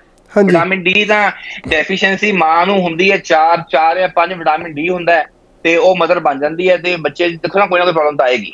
100% ਹੂੰ ਹੂੰ ਹੂੰ। ਇਹ ਨਹੀਂ ਆਏਗੀ ਤਾਂ ਹੋਰ ਹੱਡੀਆਂ ਦੀ ਕੋਈ ਪ੍ਰੋਬਲਮ ਆ ਜਾਏਗੀ। ਹੈਨਾ? ਜਦ ਮਾਂ ਦੇ ਕੋਲ ਹੀ ਵਿਟਾਮਿਨ ਡੀ 4 ਹੈ ਤੇ ਉਹਨੂੰ ਚਾਹੀਦਾ 45 ਜੀ। ਮਤਲਬ ਬੇਸਿਕ ਜਿਹੜੀ ਮਦਰ ਬਣਨ ਤੋਂ ਪਹਿਲੇ ਮਦਰ ਬਣਨ ਤੋਂ ਪਹਿਲੇ ਤੁਸੀਂ ਸਾਰੇ ਆਪਣੇ ਜਿਹੜਾ ਤੁਹਾਨੂੰ ਸੁਣਾਇਆ ਵਿਟਾਮਿਨ ਦੁਆਰਾ ਬੋਲ ਦੇਣਾ ਹੈ vitamin D folic acid magnesium omega 3 C ਤੇ B6 ਤੇ ਇਹ ਟੈਸਟ ਆਪਣੇ ਕਰਵਾ ਕੇ ਤੇ ਪਹਿਲੇ ਆਪ ਦੀ ਘਾਟ ਨੂੰ ਪੂਰਾ ਕਰੋ ਹੈਨਾ? ਪਹਿਲੇ ਆਪਣੀ ਸਰੀਰ ਦੀ ਘਾਟ ਨੂੰ ਪੂਰਾ ਕਰੋ ਤਾਂ ਤੁਸੀਂ ਅੱਗੇ ਮਦਰਹੁੱਡ ਦੇ ਵਿੱਚ ਜਾਓ। ਸਟਾਰਟਿੰਗ ਦੇ ਵਿੱਚ ਤੁਸੀਂ ਆਪਣੀ ਇਹ ਚੀਜ਼ਾਂ ਦੇਖੋ ਆਪਣੀ ਡਾਈਟ ਪਲਾਨ ਪ੍ਰੋਪਰ ਪਹਿਲੇ ਮਾਂ ਕਰੇ ਡਾਈਟ ਪਲਾਨ ਆਪਣੀ ਪ੍ਰੋਪਰ ਜੀ ਜੀ ਜੀ। ਤੇ ਬਾਪ ਨੂੰ ਵੀ ਚਾਹੀਦਾ ਹੈ ਜਿਹੜਾ ਫਾਦਰ ਹੈਗਾ ਉਹਨੂੰ ਵੀ ਚਾਹੀਦਾ ਹੈ ਕਿ ਆਪਣੀ ਡਾਈਟ ਪਲਾਨ ਪ੍ਰੋਪਰ ਕਰੇ ਕਿਉਂਕਿ ਦੋਨਾਂ ਦਾ ਰੋਲ ਹੈ ਇਹਦੇ ਵਿੱਚ। ਮਾਂ ਦਾ ਵੀ ਤੇ ਫਾਦਰ ਦਾ ਵੀ ਹੈਨਾ ਤੇ ਮਾਂ ਦਾ ਤਾਂ ਓਵਾ ਹੋ ਗਿਆ ਪਿਓ ਦਾ ਸਪਰਮ ਹੋ ਗਿਆ। ਇਹ ਦੋਨਾਂ ਦਾ ਰੋਲ ਹੈਗਾ ਉਹਦੀ ਜਿਹੜੀ ਕੁਆਲਿਟੀ ਹੈਗੀ ਹੈ ਜਿਹੜੀ ਉਹਦੀ ਚੀਜ਼ ਹੈਗੀ ਹੈ ਉਹ ਇਹ ਵਿਟਾਮਿਨ ਦੀ ਕਮੀਆਂ ਦੇ ਕਾਰਨ ਜੇ ਤੁਹਾਨੂੰ ਗਿਣਾਇਆ ਹੁਣੇ ਇਹਦੇ ਨਾਲ ਵੀ ਰੋਲ ਪਾਇਆ ਗਿਆ। ਇੱਕ ਵਿਟਾਮਿਨ ਏ ਹਾਂਜੀ। ਵਿਟਾਮਿਨ ਏ ਜਿਹੜਾ ਹੁੰਦਾ ਹੈ ਬੱਚੇ ਨੂੰ ਆਪਾਂ ਮਤਲਬ ਕਿ ਜੰਮਣ ਤੋਂ ਕੁਝ ਮਹੀਨੇ ਬਾਅਦ ਪਿਲਾ ਦਿੰਦੇ ਆ ਹੈਨਾ? ਤੇ ਵਿਟਾਮਿਨ ਏ ਜਿਹੜਾ ਹੈਗਾ ਹੈ ਵਿਟਾਮਿਨ ਏ ਮਾਂ-ਬਾਪ ਮਤਲਬ ਕਿ ਜਦ ਸਾਨੂੰ ਤਾਂ ਕਮੀ ਆਂਦੀ ਨਹੀਂ ਹੈ ਵਿਟਾਮਿਨ ਏ ਨਾਰਮਲੀ ਲੇਕਿਨ ਵਿਟਾਮਿਨ ਏ ਦੀਆਂ ਜਿੰਨੀਆਂ ਵੀ ਲਾਲ ਚੀਜ਼ਾਂ ਹੈਗੀਆਂ ਨੇ ਕਲਰਫੁਲ ਫਰੂਟਸ ਹੈਗੇ ਨੇ ਡੂਰਿੰਗ ਪ੍ਰੈਗਨੈਂਸੀ ਇਹ ਚੀਜ਼ਾਂ ਮਦਰ ਖਾਵੇ ਤੇ ਜਿਹੜਾ ਏਐਸਡੀ ਹੈਗਾ ਹੈ ਕਾਫੀ ਹੱਦ ਤੱਕ ਉਹ ਮੋਟੇਸ਼ਨ ਤੋਂ ਅਸੀਂ ਰੋਕ ਸਕਦੇ ਹਾਂ। ਮੋਟੇਸ਼ਨ ਆਉਣ ਦਾ ਹੱਲੇ ਵੀ ਦੇਖੋ ਨਾ ਤੁਸੀਂ ਸੁਣਾ ਰਹੇ ਕਿ ਮੋਟੇਸ਼ਨ ਆਉਣ ਦਾ ਹੱਲੇ ਵੀ ਕੋਈ ਸਪੈਸੀਫਾਈਡ ਰੀਜ਼ਨ ਨਹੀਂ ਲੱਗਦਾ। ਇਹਦੀ ਰਿਸਰਚ ਹੀ ਹੁੰਦੀ ਪਈ ਹੈ ਕਿ ਵੱਡੀ ਉਮਰ 'ਚ ਅਗਰ ਬੱਚਾ ਹੁੰਦਾ ਹੈ ਜਾਂ ਇਹ ਵਿਟਾਮਿਨਸ ਦੀ ਕਮੀ ਹੁੰਦੀ ਹੈ ਇਹ ਟੌਪਿਕ ਹੱਲੇ ਓਪਨ ਹੈ। ਇਹ ਬੁੱਕ ਹੱਲੇ ਓਪਨ ਹੈਗੀ ਹੈ। ਤੇ ਫਿਰ ਵੀ ਆਪਾਂ ਇਹ ਚੀਜ਼ਾਂ ਕਰਾਂਗੇ। ਆਪਣੇ ਆਪਣੇ ਆਪਣੀ ਬਾਡੀ ਨੂੰ ਹਸਪੁਸ਼ ਰੱਖੋ ਨਾ। ਜੀ ਜੀ। ਆਪਣੀ ਬਾਡੀ ਨੂੰ ਹਸਪੁਸ਼ ਰੱਖੋ। ਟਾਈਮ ਸਿਰ ਤੁਸੀਂ ਆਪਣੀ ਪ੍ਰੈਗਨੈਂਸੀ ਲੈਵਲ ਤੇ ਜਾਓ। ਠੀਕ ਹੈ ਜੀ? ਤਾਂ ਜਾ ਕੇ ਇਹ ਬੱਚਾ ਤੁਹਾਡਾ ਠੀਕ ਹੋਏਗਾ ਨਹੀਂ ਤਾਂ ਇਹ ਕੁਛ ਨਾ ਕੁਛ ਚਾਂਸ ਤਾਂ ਹੁੰਦੇ ਆ। ਅਗਰ ਅਸੀਂ ਦੇਖੋ ਨਾ ਗੈਰ ਕੁਦਰਤੀ ਕੋਈ ਗੱਲ ਕਰਾਂਗੇ ਅਸੀਂ ਹੁਣ 35 37 40 ਸਾਲ ਦੇ ਵਿੱਚ ਜਾ ਕੇ ਮਦਰਹੁੱਡ ਬਣਨ ਦੀ ਕੋਸ਼ਿਸ਼ ਕਰਾਂਗੇ ਤੇ ਉਹਦੇ ਵਿੱਚ risk of these factors are high ਕੋਈ ਨਾ ਕੋਈ ਕਮੀ ਬੱਚੇ ਦੇ ਵਿੱਚ ਆਉਣ ਦੇ ਚਾਂਸ ਹੁੰਦੇ ਆ। ਪਹਿਲੀ ਗੱਲ ਤਾਂ ਇਹ ਹੁੰਦੀ ਹੈ ਕਿ ਪ੍ਰੈਗਨੈਂਸੀ ਨਹੀਂ ਹੁੰਦੀ ਮੈਂ ਦੇਖਿਆ 45 ਸਾਲ ਦੇ ਵਿੱਚ ਜਾ ਕੇ ਹੈ ਨਾ? 40 ਸਾਲ ਜਾ ਕੇ ਤੇ ਜਦ ਹੋ ਵੀ ਜਾਂਦੀ ਹੈ ਤੇ ਫਿਰ ਉਸ ਤੇ ਪੰਗਾ ਪੈ ਜਾਂਦਾ ਹੈ। ਤੇ ਟਾਈਮ ਸਿਰ ਸਾਰਾ ਕੰਮ ਹੋਵੇ ਤੇ ਵਿਦ ਗੁੱਡ ਮੇਨ ਤਾਂ ਡਾਈਟ ਇਹ ਡਾਈਟ ਦਾ ਵੀ ਬਹੁਤ ਵੱਡਾ ਰੋਲ ਪੈਂਦਾ ਹੈ। ਇਹ ਚੀਜ਼ਾਂ ਹੋ ਗਈਆਂ ਜਿਹੜੀਆਂ ਚੀਜ਼ਾਂ ਬਾਅਦ ਚੋਂ ਹੋ ਗਈਆਂ ਬੱਚਾ ਹੋ ਗਿਆ ਏਐਸਡੀ ਨਿਕਲ ਗਿਆ ਉਹਦੇ ਵਾਸਤੇ ਤਾਂ ਫਿਰ ਥੈਰੇਪੀਸ ਆ ਗਈਆਂ ਨਾ। ਸਪੀਚ ਥੈਰੇਪੀ ਹੁੰਦੀ ਹੈ। ਹੂੰ। ਤੁਹਾਡੇ ਜਿਹੜੇ ਹੈ ਤੁਹਾਡੇ ਬਾਹਰ ਉਥੇ ਕੋਈ ਸਿਸਟਮ ਹੁੰਦਾ ਹੋਏਗਾ ਡਾਕਟਰ ਜਿਹੜੇ ਬੱਚੇ ਦੇ ਹੁੰਦੇ ਵੈਸੇ ਬੇਸਿਕਲੀ ਡਾਕਟਰ ਸਾਹਿਬ ਉਹ ਅੱਗੇ ਜਾ ਕੇ ਗੱਲ ਹੁੰਦੀ ਕਿ ਜਦੋਂ ਬੱਚਾ ਸਕੂਲ ਜਾਂਦਾ ਜਾਂ ਡੇ ਕੇਅਰ ਦੇ ਵਿੱਚ ਜਾਂਦਾ ਪਰ ਜਦੋਂ ਆਪਾਂ ਆਪਣੀ ਕਮਿਊਨਿਟੀ ਦੀ ਗੱਲ ਕਰਦੇ ਆ ਤੇ ਸਾਡੇ ਬੱਚੇ ਬਹੁਤ ਘੱਟ ਡੇ ਕੇਅਰ ਦੇ ਵਿੱਚ ਜਾਂਦੇ ਨੇ ਕਿਉਂਕਿ ਬਹੁਤੇ ਬੱਚਿਆਂ ਦੇ ਜਿਹੜੇ ਆ ਗ੍ਰੈਂਡ ਪੇਰੈਂਟਸ ਨਾਨਾ ਨਾਨੀ ਦਾਦਾ ਦਾਦੀ ਹੁੰਦੇ ਨੇ ਉਹ ਟੇਕ ਕੇਅਰ ਕਰ ਲੈਂਦੇ ਨੇ। ਪਰ ਜੇਕਰ ਡੇ ਕੇਅਰ ਦੇ ਵਿੱਚ ਜਾਂਦੇ ਹੋ ਤੇ ਉਹ ਬਕਾਇਦਾ ਜਿਹੜੀ ਬੱਚੇ ਦੀ ਡਿਵੈਲਪਮੈਂਟ ਆ ਉਹਨੂੰ ਨੋਟ ਕਰਦੇ ਨੇ। ਉਹ ਨੋਟ ਕਰਕੇ ਤੇ ਹੈਲਥ ਡਿਪਾਰਟਮੈਂਟ ਤੱਕ ਉਹ ਅਪਰੋਚ ਕਰਦੇ ਨੇ। ਜੇਕਰ ਬੱਚੇ ਦੇ ਵਿੱਚ ਕੋਈ ਪ੍ਰੋਬਲਮ ਆ ਉਹਦੀ ਸਪੀਚ ਡਿਲੇ ਆ ਜਾਂ ਉਹਦੀ ਫਾਈਨ ਮੋਟਰ ਗ੍ਰੋਸ ਮੋਟਰ ਦੇ ਵਿੱਚ ਕੋਈ ਪ੍ਰੋਬਲਮ ਆ।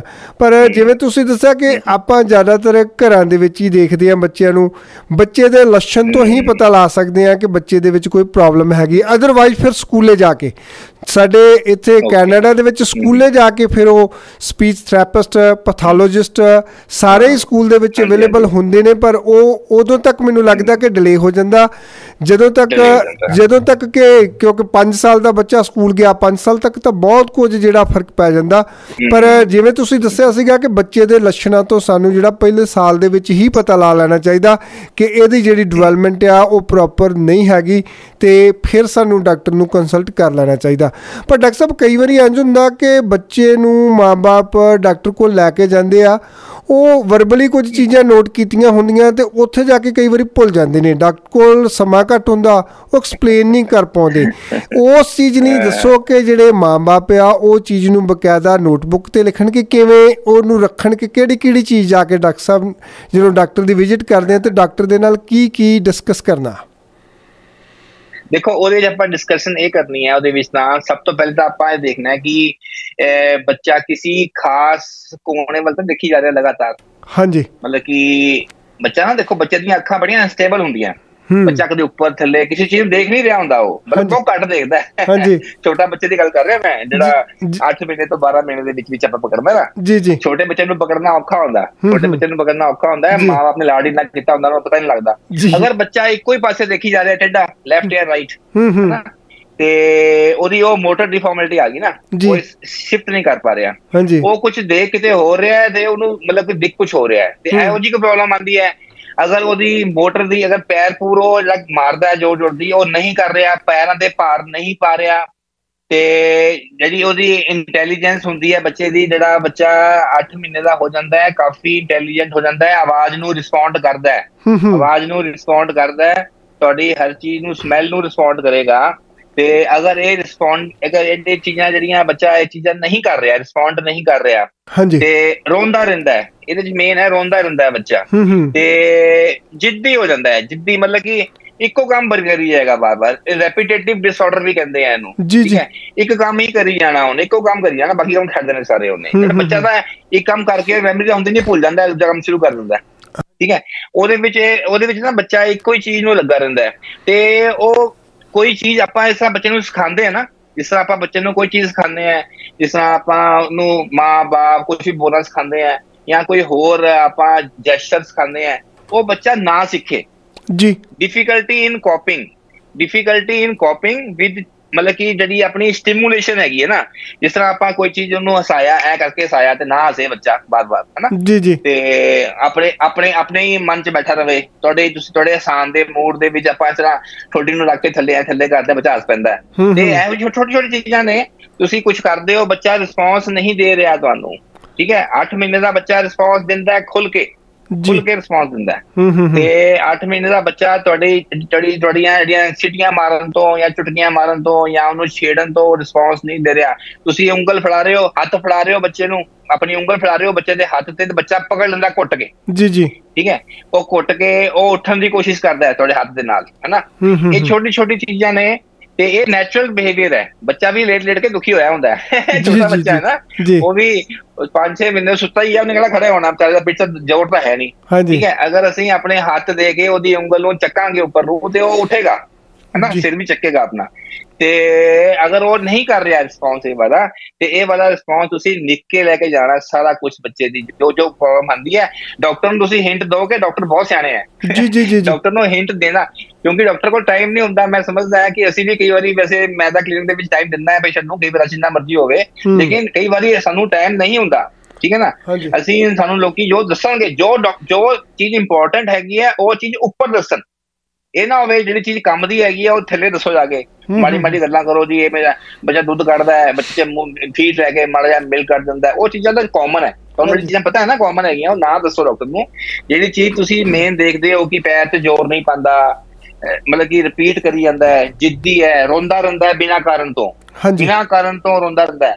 ਮਾਂ ਦਾ ਦੁੱਧ ਪੀ ਕੇ ਵੀ ਰੋਂਦਾ ਰਹਿੰਦਾ ਦੁੱਧ ਪੀਂਦੇ ਹੋਏ ਵੀ ਰੋਂਦਾ ਰਹਿੰਦਾ ਤੇ ਇਹੋ ਜਿਹੀਆਂ ਚੀਜ਼ਾਂ ਇਹੋ ਜਿਹੀਆਂ ਚੀਜ਼ਾਂ ਜਿਹੜਾ ਮਾਂ ਦਾ ਦੁੱਧ ਪੀਂਦਾ ਨਾ ਬੱਚਾ ਅੱਖਾਂ ਬੰਦ ਹੋ ਜਾਂਦੀਆਂ ਬੱਚੇ ਦੀਆਂ। ਬੱਚੇ ਦੀਆਂ ਅੱਖਾਂ ਬੰਦ ਹੁੰਦੀਆਂ ਮਸਤ ਹੋ ਜਾਂਦਾ ਹੈ। ਐ ਨੀਂਦ ਆ ਜਾਂਦੀ ਉਹਨੂੰ ਫਸਟ ਕਲਾਸ ਤੇ ਅਗਰ ਮਾਂ ਦੁੱਧ ਮਾਂ ਦਾ ਦੁੱਧ ਪੀਂਦੇ ਹੋਏ ਵੀ ਉਹ ਬੱਚਾ ਅਗਰ ਨਹੀਂ ਮਤਲਬ ਕਿ ਮਸਤ ਨਹੀਂ ਹੁੰਦਾ ਮਤਲਬ ਉਹ ਡਿਸਟਰਬ ਰਹਿੰਦਾ ਹੈ ਤੇ ਕੁਝ ਕੋਈ ਐਲਰਜੀ ਤਾਂ ਨਹੀਂ ਹੋ ਰਹੀ ਬੱਚੇ ਨੂੰ ਅੱਜ ਕੱਲ੍ਹ ਸਭ ਪਤਾ ਤੁਹਾਨੂੰ ਗਲੂਟਨ ਐਲਰਜੀ ਵਗੈਰਾ ਕਈ ਕੁਝ ਹੁੰਦਾ ਹੈ ਤੇ ਉਹਦਾ ਕਰ ਬਾਅਦ ਦੀ ਗੱਲ ਹੈ ਗਲੂਟਨ ਐਲਰਜੀ ਤਾਂ ਲੇਕਿਨ ਛੋਟੇ ਮਤਲਬ ਹੁੰਦੇ ਹੋਏ ਮਾਂ ਦੁੱਧ ਪੀਂਦੇ ਹੋਏ ਵੀ ਉਹ ਡਿਸਟਰਬ ਹੋ ਰਿਹਾ ਹੈ। ਕੋਈ ਇਹੋ ਜਿਹੀ ਚੀਜ਼ਾਂ ਜਿਹੜੇ ਤੁਸੀਂ ਦੇਖਦੇ ਹੋ ਬੱਚੇ ਕਰਦੇ ਹੈ ਮਤਲਬ ਕਿ ਉਹ ਪਰ ਇਹ ਬੱਚਾ ਉਲਟਾ ਕਰ ਰਿਹਾ ਤੇ। ਇਹ ਚੀਜ਼ ਨੂੰ ਨੋਟ ਕਰਨਾ ਹੈ ਆਪਾਂ ਤੇ ਇਹਦਾ ਇੱਕ ਹੁੰਦਾ ਕਿ ਬੱਚਾ ਨਾ ਇੱਕ ਇਹਦਾ ਕਹਿੰਦੇ ਆਪਾਂ ਇਨਫਲੈਕਸੀਬਲ ਬਿਹੇਵੀਅਰ ਮਤਲਬ ਬੱਚਾ ਮੋਲਡ ਨਹੀਂ ਹੋ ਰਿਹਾ ਹਨਾ? ਹਾਂਜੀ। ਬੱਚਾ ਮਤਲਬ ਕਿ ਜਿਸ ਤਰ੍ਹਾਂ ਆਪਾਂ ਸਿਖਾਵਾਂਗੇ ਨਾ ਉਹ ਸਿੱਖਦਾ ਹੈ। ਬੱਚਾ ਦਾ ਬੱਚਾ ਦਾ ਬਿਲਕੁਲ ਰੱਬ ਦਾ ਰੂਪ ਹੈ। ਤੁਸੀਂ ਜੋ ਸਿਖਾਓਗੇ ਉਹ ਸਿੱਖੇਗਾ। ਆਪਾਂ ਹੁਣ ਆਪਣਾ ਦਿਮਾਗ ਨਹੀਂ ਲਾਣਾ ਛੋਟਾ ਬੱਚਾ 8 ਮਹੀਨੇ ਦਾ। ਬੱਚੇ ਦੇ ਵਿੱਚ ਆਪਾਂ ਕਹਿੰਦੇ ਆ ਕਿ ਫਲੈਕਸੀਬਲ ਬਿਹੇਵੀਅਰ ਹੈ ਬੱਚੇ ਨੂੰ। ਤੁਸੀਂ ਬੱਚੇ ਨੂੰ ਤੁਸੀਂ ਜਿਸ ਕੰਟਰੀ 'ਚ ਪਾਲ ਲਓ ਬੱਚਾ ਉਸ ਕੰਟਰੀ ਦਾ ਬਣ ਜਾਂਦਾ ਹੈ। ਬੱਚੇ ਨੂੰ ਕੁਝ ਨਹੀਂ ਪਤਾ। ਤੇ ਅਗਰ ਬੱਚਾ ਦਾ ਇਨਫਲੈਕਸੀਬਲ ਬਿਹੇਵੀਅਰ ਹੈ ਉਹ ਆਪਣੇ ਤਰੀਕੇ ਨਾਲ ਚੱਲ ਰਿਹਾ ਹੈ ਤੁਹਾਡੇ ਤਰੀਕੇ ਨਾਲ ਨਹੀਂ ਚੱਲ ਰਿਹਾ ਬੱਚੇ ਦਾ ਕੋਈ ਤਰੀਕਾ ਨਹੀਂ ਹੈ ਯਾਦ ਰੱਖਿਓ। ਬੱਚੇ ਨੇ ਤੁਹਾਡੇ ਤੋਂ ਸਿੱਖਣਾ ਹੈ। ਬੱਚੇ ਦਾ ਤਾਂ ਇੱਕ ਹਾਰਡ ਡਿਸਕ ਰੱਬ ਨੇ ਲਾਤੀ ਹੈ ਸੌਫਟਵੇਅਰ ਪਾਤਾ ਹੈ, ਤੁਸੀਂ ਆਪਣੇ ਹਿਸਾਬ ਨਾਲ ਚਲਾਣਾ ਹੈ। ਅਗਰ ਉਹਦਾ ਹਾਰਡਵੇਅਰ ਸੌਫਟਵੇਅਰ ਤੁਹਾਡੇ ਹਿਸਾਬ ਨਾਲ ਨਹੀਂ ਚੱਲ ਰਿਹਾ, ਉਹ ਆਪਣੇ ਹਿਸਾਬ ਨਾਲ ਚੱਲ ਰਿਹਾ ਮਤਲਬ ਉਹਦੀ ਆਪਣੀ, ਆਪਣਾ ਹੀ ਰੋਲ ਹੈ। ਤੇ ਦੈਨ ਜਿਹੜਾ ਏਐਸਟੀ ਦਾ ਚਾਂਸਸ ਵੱਧ ਜਾਂਦੇ ਨੇ। ਇਹ ਚੀਜ਼ਾਂ ਤੁਸੀਂ ਡਾਕਟਰ ਡਾਕਟਰ ਨੂੰ ਦੱਸਣੀਆਂ ਹੈਗੀਆਂ ਕਿ ਇਹ ਬੱਚਾ ਸਾਡੇ ਰਿਐਕਸ਼ਨ ਰਿਐਕਸ਼ਨ ਨੂੰ ਰਿਐਕਸ਼ਨ ਨਹੀਂ ਕਰਦਾ। ਇਹਦੀ ਜਿਹੜੀ ਇਨਫਲੈਕਸੀਬਲ ਬਿਹੇਵੀਅਰ ਹੈਗਾ। ਇਹ ਸਾਡੀ ਕਾਪੀ ਨਹੀਂ ਕਰਦਾ ਇਹ ਸਾਡੇ ਸਟਿਮੂਲਸ ਨੂੰ ਅਸੀਂ ਜੋ ਕੁਝ ਛੇੜਦੇ ਆ ਉਹਨੂੰ ਰਿਸਪੌਂਸ ਨਹੀਂ ਕਰਦਾ। ਇੱਕੋ ਚੀਜ਼ ਰਿਪੀਟ ਕਰਦਾ ਹੈ ਇੱਕ ਪਾਸੇ ਦੇਖਦਾ ਹੈ। ਇਹ ਕਾਫੀ ਹੱਦ ਤੱਕ ਹੈਗੇ ਚੀਜ਼ਾਂ। ਇਹ ਜਦ ਤੱਕ ਤੁਹਾਨੂੰ ਇਹ ਲੱਗ ਜਾਏਗਾ ਡਾਕਟਰ ਨੂੰ ਬੋਲੋਗੇ ਡਾਕਟਰ ਇਹ ਚੈੱਕ ਕਰਾਏਗਾ ਕਾਫੀ ਕੁਝ ਤੁਹਾਨੂੰ ਦੱਸਦਾ ਮੇਰੇ ਖਿਆਲ ਹੈ ਜੀ ਹਾਂਜੀ ਹਾਂਜੀ। ਇਹ ਤਾਂ ਹੋ ਗਿਆ ਜੀ ਬੱਚੇ। ਕਈ ਵਾਰੀ। ਬੱਚਿਆਂ 'ਚ ਵੱਡੀ ਉਮਰ 'ਚ ਜਾ ਕੇ ਵੀ ਏਐਸਡੀ ਦੀ ਪ੍ਰੋਬਲਮ ਹੋ ਸਕਦੀ ਆ। ਦੇਖੋ ਸਟਾਰਟ ਤਾਂ ਨਾਰਮਲੀ ਇਹ ਛੋਟੀ ਉਮਰ 'ਚ ਪਤਾ ਲੱਗ ਹੀ ਜਾਂਦਾ ਹੈ। ਹਾਂਜੀ। ਛੋਟੀ ਉਮਰ 'ਚ ਪਤਾ ਲੱਗ ਜਾਂਦਾ ਹੈ। ਇਹ ਤਾਂ ਮੈਂ ਸਮਝਾਇਆ ਸੀ ਨਾ ਕਿ ਇਹ ਦੋ ਤਿੰਨ ਸਟੇजेस ਹੁੰਦੀਆਂ ਇਹ ਦੋ ਤਿੰਨ ਵੈਰਾਈਟੀਜ਼ ਹੁੰਦੀਆਂ। ਆਪਾਂ ਕੱਲ ਨੂੰ ਡਿਟੇਲਸ ਜਾਣਾ ਇਹਨਾਂ। ਤੇ ਇਹਦੇ ਵਿੱਚ ਜਿਹੜੀ ਕਈਆਂ ਦੀ ਬੱਚੇ ਦੀ ਨਾ ਮਤਲਬ ਕਿ ਜਿਹੜੀ ਸਟੇਜ ਜਿੱਥੇ ਬੈਠਾ ਹੋਇਆ ਤੇ ਉਹ ਸਟੇਜ ਤੇ ਹੀ ਰਹਿੰਦਾ ਹੌਲੀ ਹੌਲੀ ਠੀਕ ਹੋ ਜਾਂਦਾ। ਹਾਂਜੀ। ਠੀਕ ਹੈ? ਉਹਨੂੰ ਇਹਨੂੰ ਐਸਪਰਗਰ ਕਹਿੰਦੇ ਐਸਪਰਗਰ ਸਿੰਡਰੋਮ ਕਹਿੰਦੇ। ਮਾਈਲਡ ਫੇਸ ਹੈਗਾ। ਤੇ ਕਈ ਵਾਰੀ ਕੀ ਹੁੰਦਾ ਹੈ ਕਿ ਜਿਹੜਾ ਏਐਸਡੀ ਹੈ ਉਹ ਛੋਟੀ ਉਮਰ ਦੇ ਵਿੱਚ ਤਾਂ ਮਾੜਾ ਜਿਹਾ ਹੁੰਦਾ ਹੈ ਵੱਡੀ ਉਮਰ 'ਚ ਵੱਧ ਜਾਂਦਾ ਬਹੁਤ ਜ਼ਿਆਦਾ। ਹੂੰ। ਹਨਾ? ਇਹ ਨਾ ਡਿਫਰੈਂਟ ਡਿਫਰੈਂਟ ਵੇ ਨਾਲ ਕਿਉਂਕਿ ਇਹ ਬੇਸਿਕਲੀ ਇਹ ਡੀਐਨਏ ਵਾਲਾ ਕੰਮ ਆ ਗਿਆ ਨਾ ਇੱਥੇ। Brain ਦੇ ਡੀਐਨਏ ਵਾਲਾ ਕੰਮ ਆ ਗਿਆ। ਬ੍ਰੇਨ ਦੀ ਫੰਕਸ਼ਨਿੰਗ ਦੇ ਕੰਮ ਆ ਗਿਆ ਨਾ। ਬ੍ਰੇਨ ਦਾ ਇਨਵੋਲਵਮੈਂਟ ਹੈ ਇਹਦੇ ਵਿੱਚ। ਇੱਕ। ਬ੍ਰੇਨ ਦੀ ਇਨਵੋਲਵਮੈਂਟ ਹੈ ਇੱਕ ਤੁਹਾਡੀ ਇਨਵੋਲਵਮੈਂਟ ਹੈ ਉਹਦੀ ਮਾਈਟੋਕੌਂਡਰੀਆ ਦੀ ਸੈੱਲ ਦੀ। ਜੀ। ਤੇ ਦੋਨੋਂ ਚੀਜ਼ਾਂ ਮੇਨ ਨੇ। ਤੇ ਇਸ ਕਰਕੇ ਇਹ ਵੱਡੀ ਉਮਰ ਦੇ ਵਿੱਚ ਜਾ ਕੇ ਇਹ ਨਾਰਮਲੀ ਕਈ ਬੰਦੇ ਠੀਕ ਵੀ ਹੋ ਕਾਫੀ ਹੱਦ ਤੱਕ ਘਟ ਵੀ ਜਾਂਦਾ ਪਰ ਵੱਧ ਵੀ ਜਾਂਦਾ ਜੀ। ਵੱਧ ਵੀ ਜਾਂਦੀ ਹੈ ਚੀਜ਼ ਰੇਅਰ ਕੇਸ ਦੇ ਵਿੱਚ।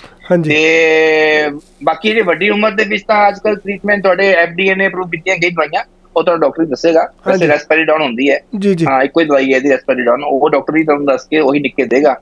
ਤੇ ਉਹਦੇ ਨਾਲ ਬੱਚੇ ਦਾ ਜਿਹੜਾ ਬਿਹੇਵੀਅਰ ਹੈ ਨਾ ਦੇਖੋ ਮੇਨ ਚੀਜ਼ ਤਾਂ ਹੁੰਦੀ ਹੈ ਬੱਚੇ ਦਾ ਬਿਹੇਵੀਅਰ ਸ਼ਾਂਤ ਹੋ ਕੇ ਬੈਠੇ। ਸ਼ਾਂਤ ਹੋ ਕੇ ਬੈਠੇਗਾ ਤਾਂ ਹੀ ਕੁਝ ਕਰੇਗਾ ਨਾ। ਹਾਂਜੀ। ਜਦ ਉਹਨੇ ਭੁੜਕੀ ਜਾਣਾ ਤੇ ਉਹਨੇ ਕਰਨਾ ਕੁਛ ਨਹੀਂ ਵਿਚਾਰੇ ਨੇ ਹਨਾ? ਤੇ ਇਹਦੇ ਵਿੱਚ ਸਾਰੀਆਂ ਜਿਹੜੀਆਂ ਜਿਹੜੀਆਂ ਬ੍ਰੇਨ ਨੂੰ ਕੰਟਰੋਲ ਕਰਦੀਆਂ ਦਵਾਈਆਂ ਨਿਊਰੋ ਦੀਆਂ ਦਵਾਈਆਂ ਜਿਹੜੀਆਂ ਹੈਗੀਆਂ ਤੇ ਉਹ ਉਹ ਕੰਮ ਆਉਂਦੀਆਂ ਨੇ ਤੇ ਉਹ ਫਿਰ ਤੁਹਾਡਾ ਤੁਹਾਡਾ ਜਿਹੜਾ ਐਫਡੀਏ ਅਪਰੂਵ ਕਰਦਾ ਹੈ ਤੁਹਾਡੇ ਡਾਕਟਰ ਦੇ ਹਿਸਾਬ ਨਾਲ ਉਹੀ ਚੱਲਣਗੀਆਂ। ਤੇ ਦਵਾਈਆਂ ਵਾਲੇ ਪਾਸੇ ਤਾਂ ਇਹਦਾ ਕੋਈ ਜ਼ਿਆਦਾ ਰੋਲ ਨਹੀਂ ਹੁੰਦਾ।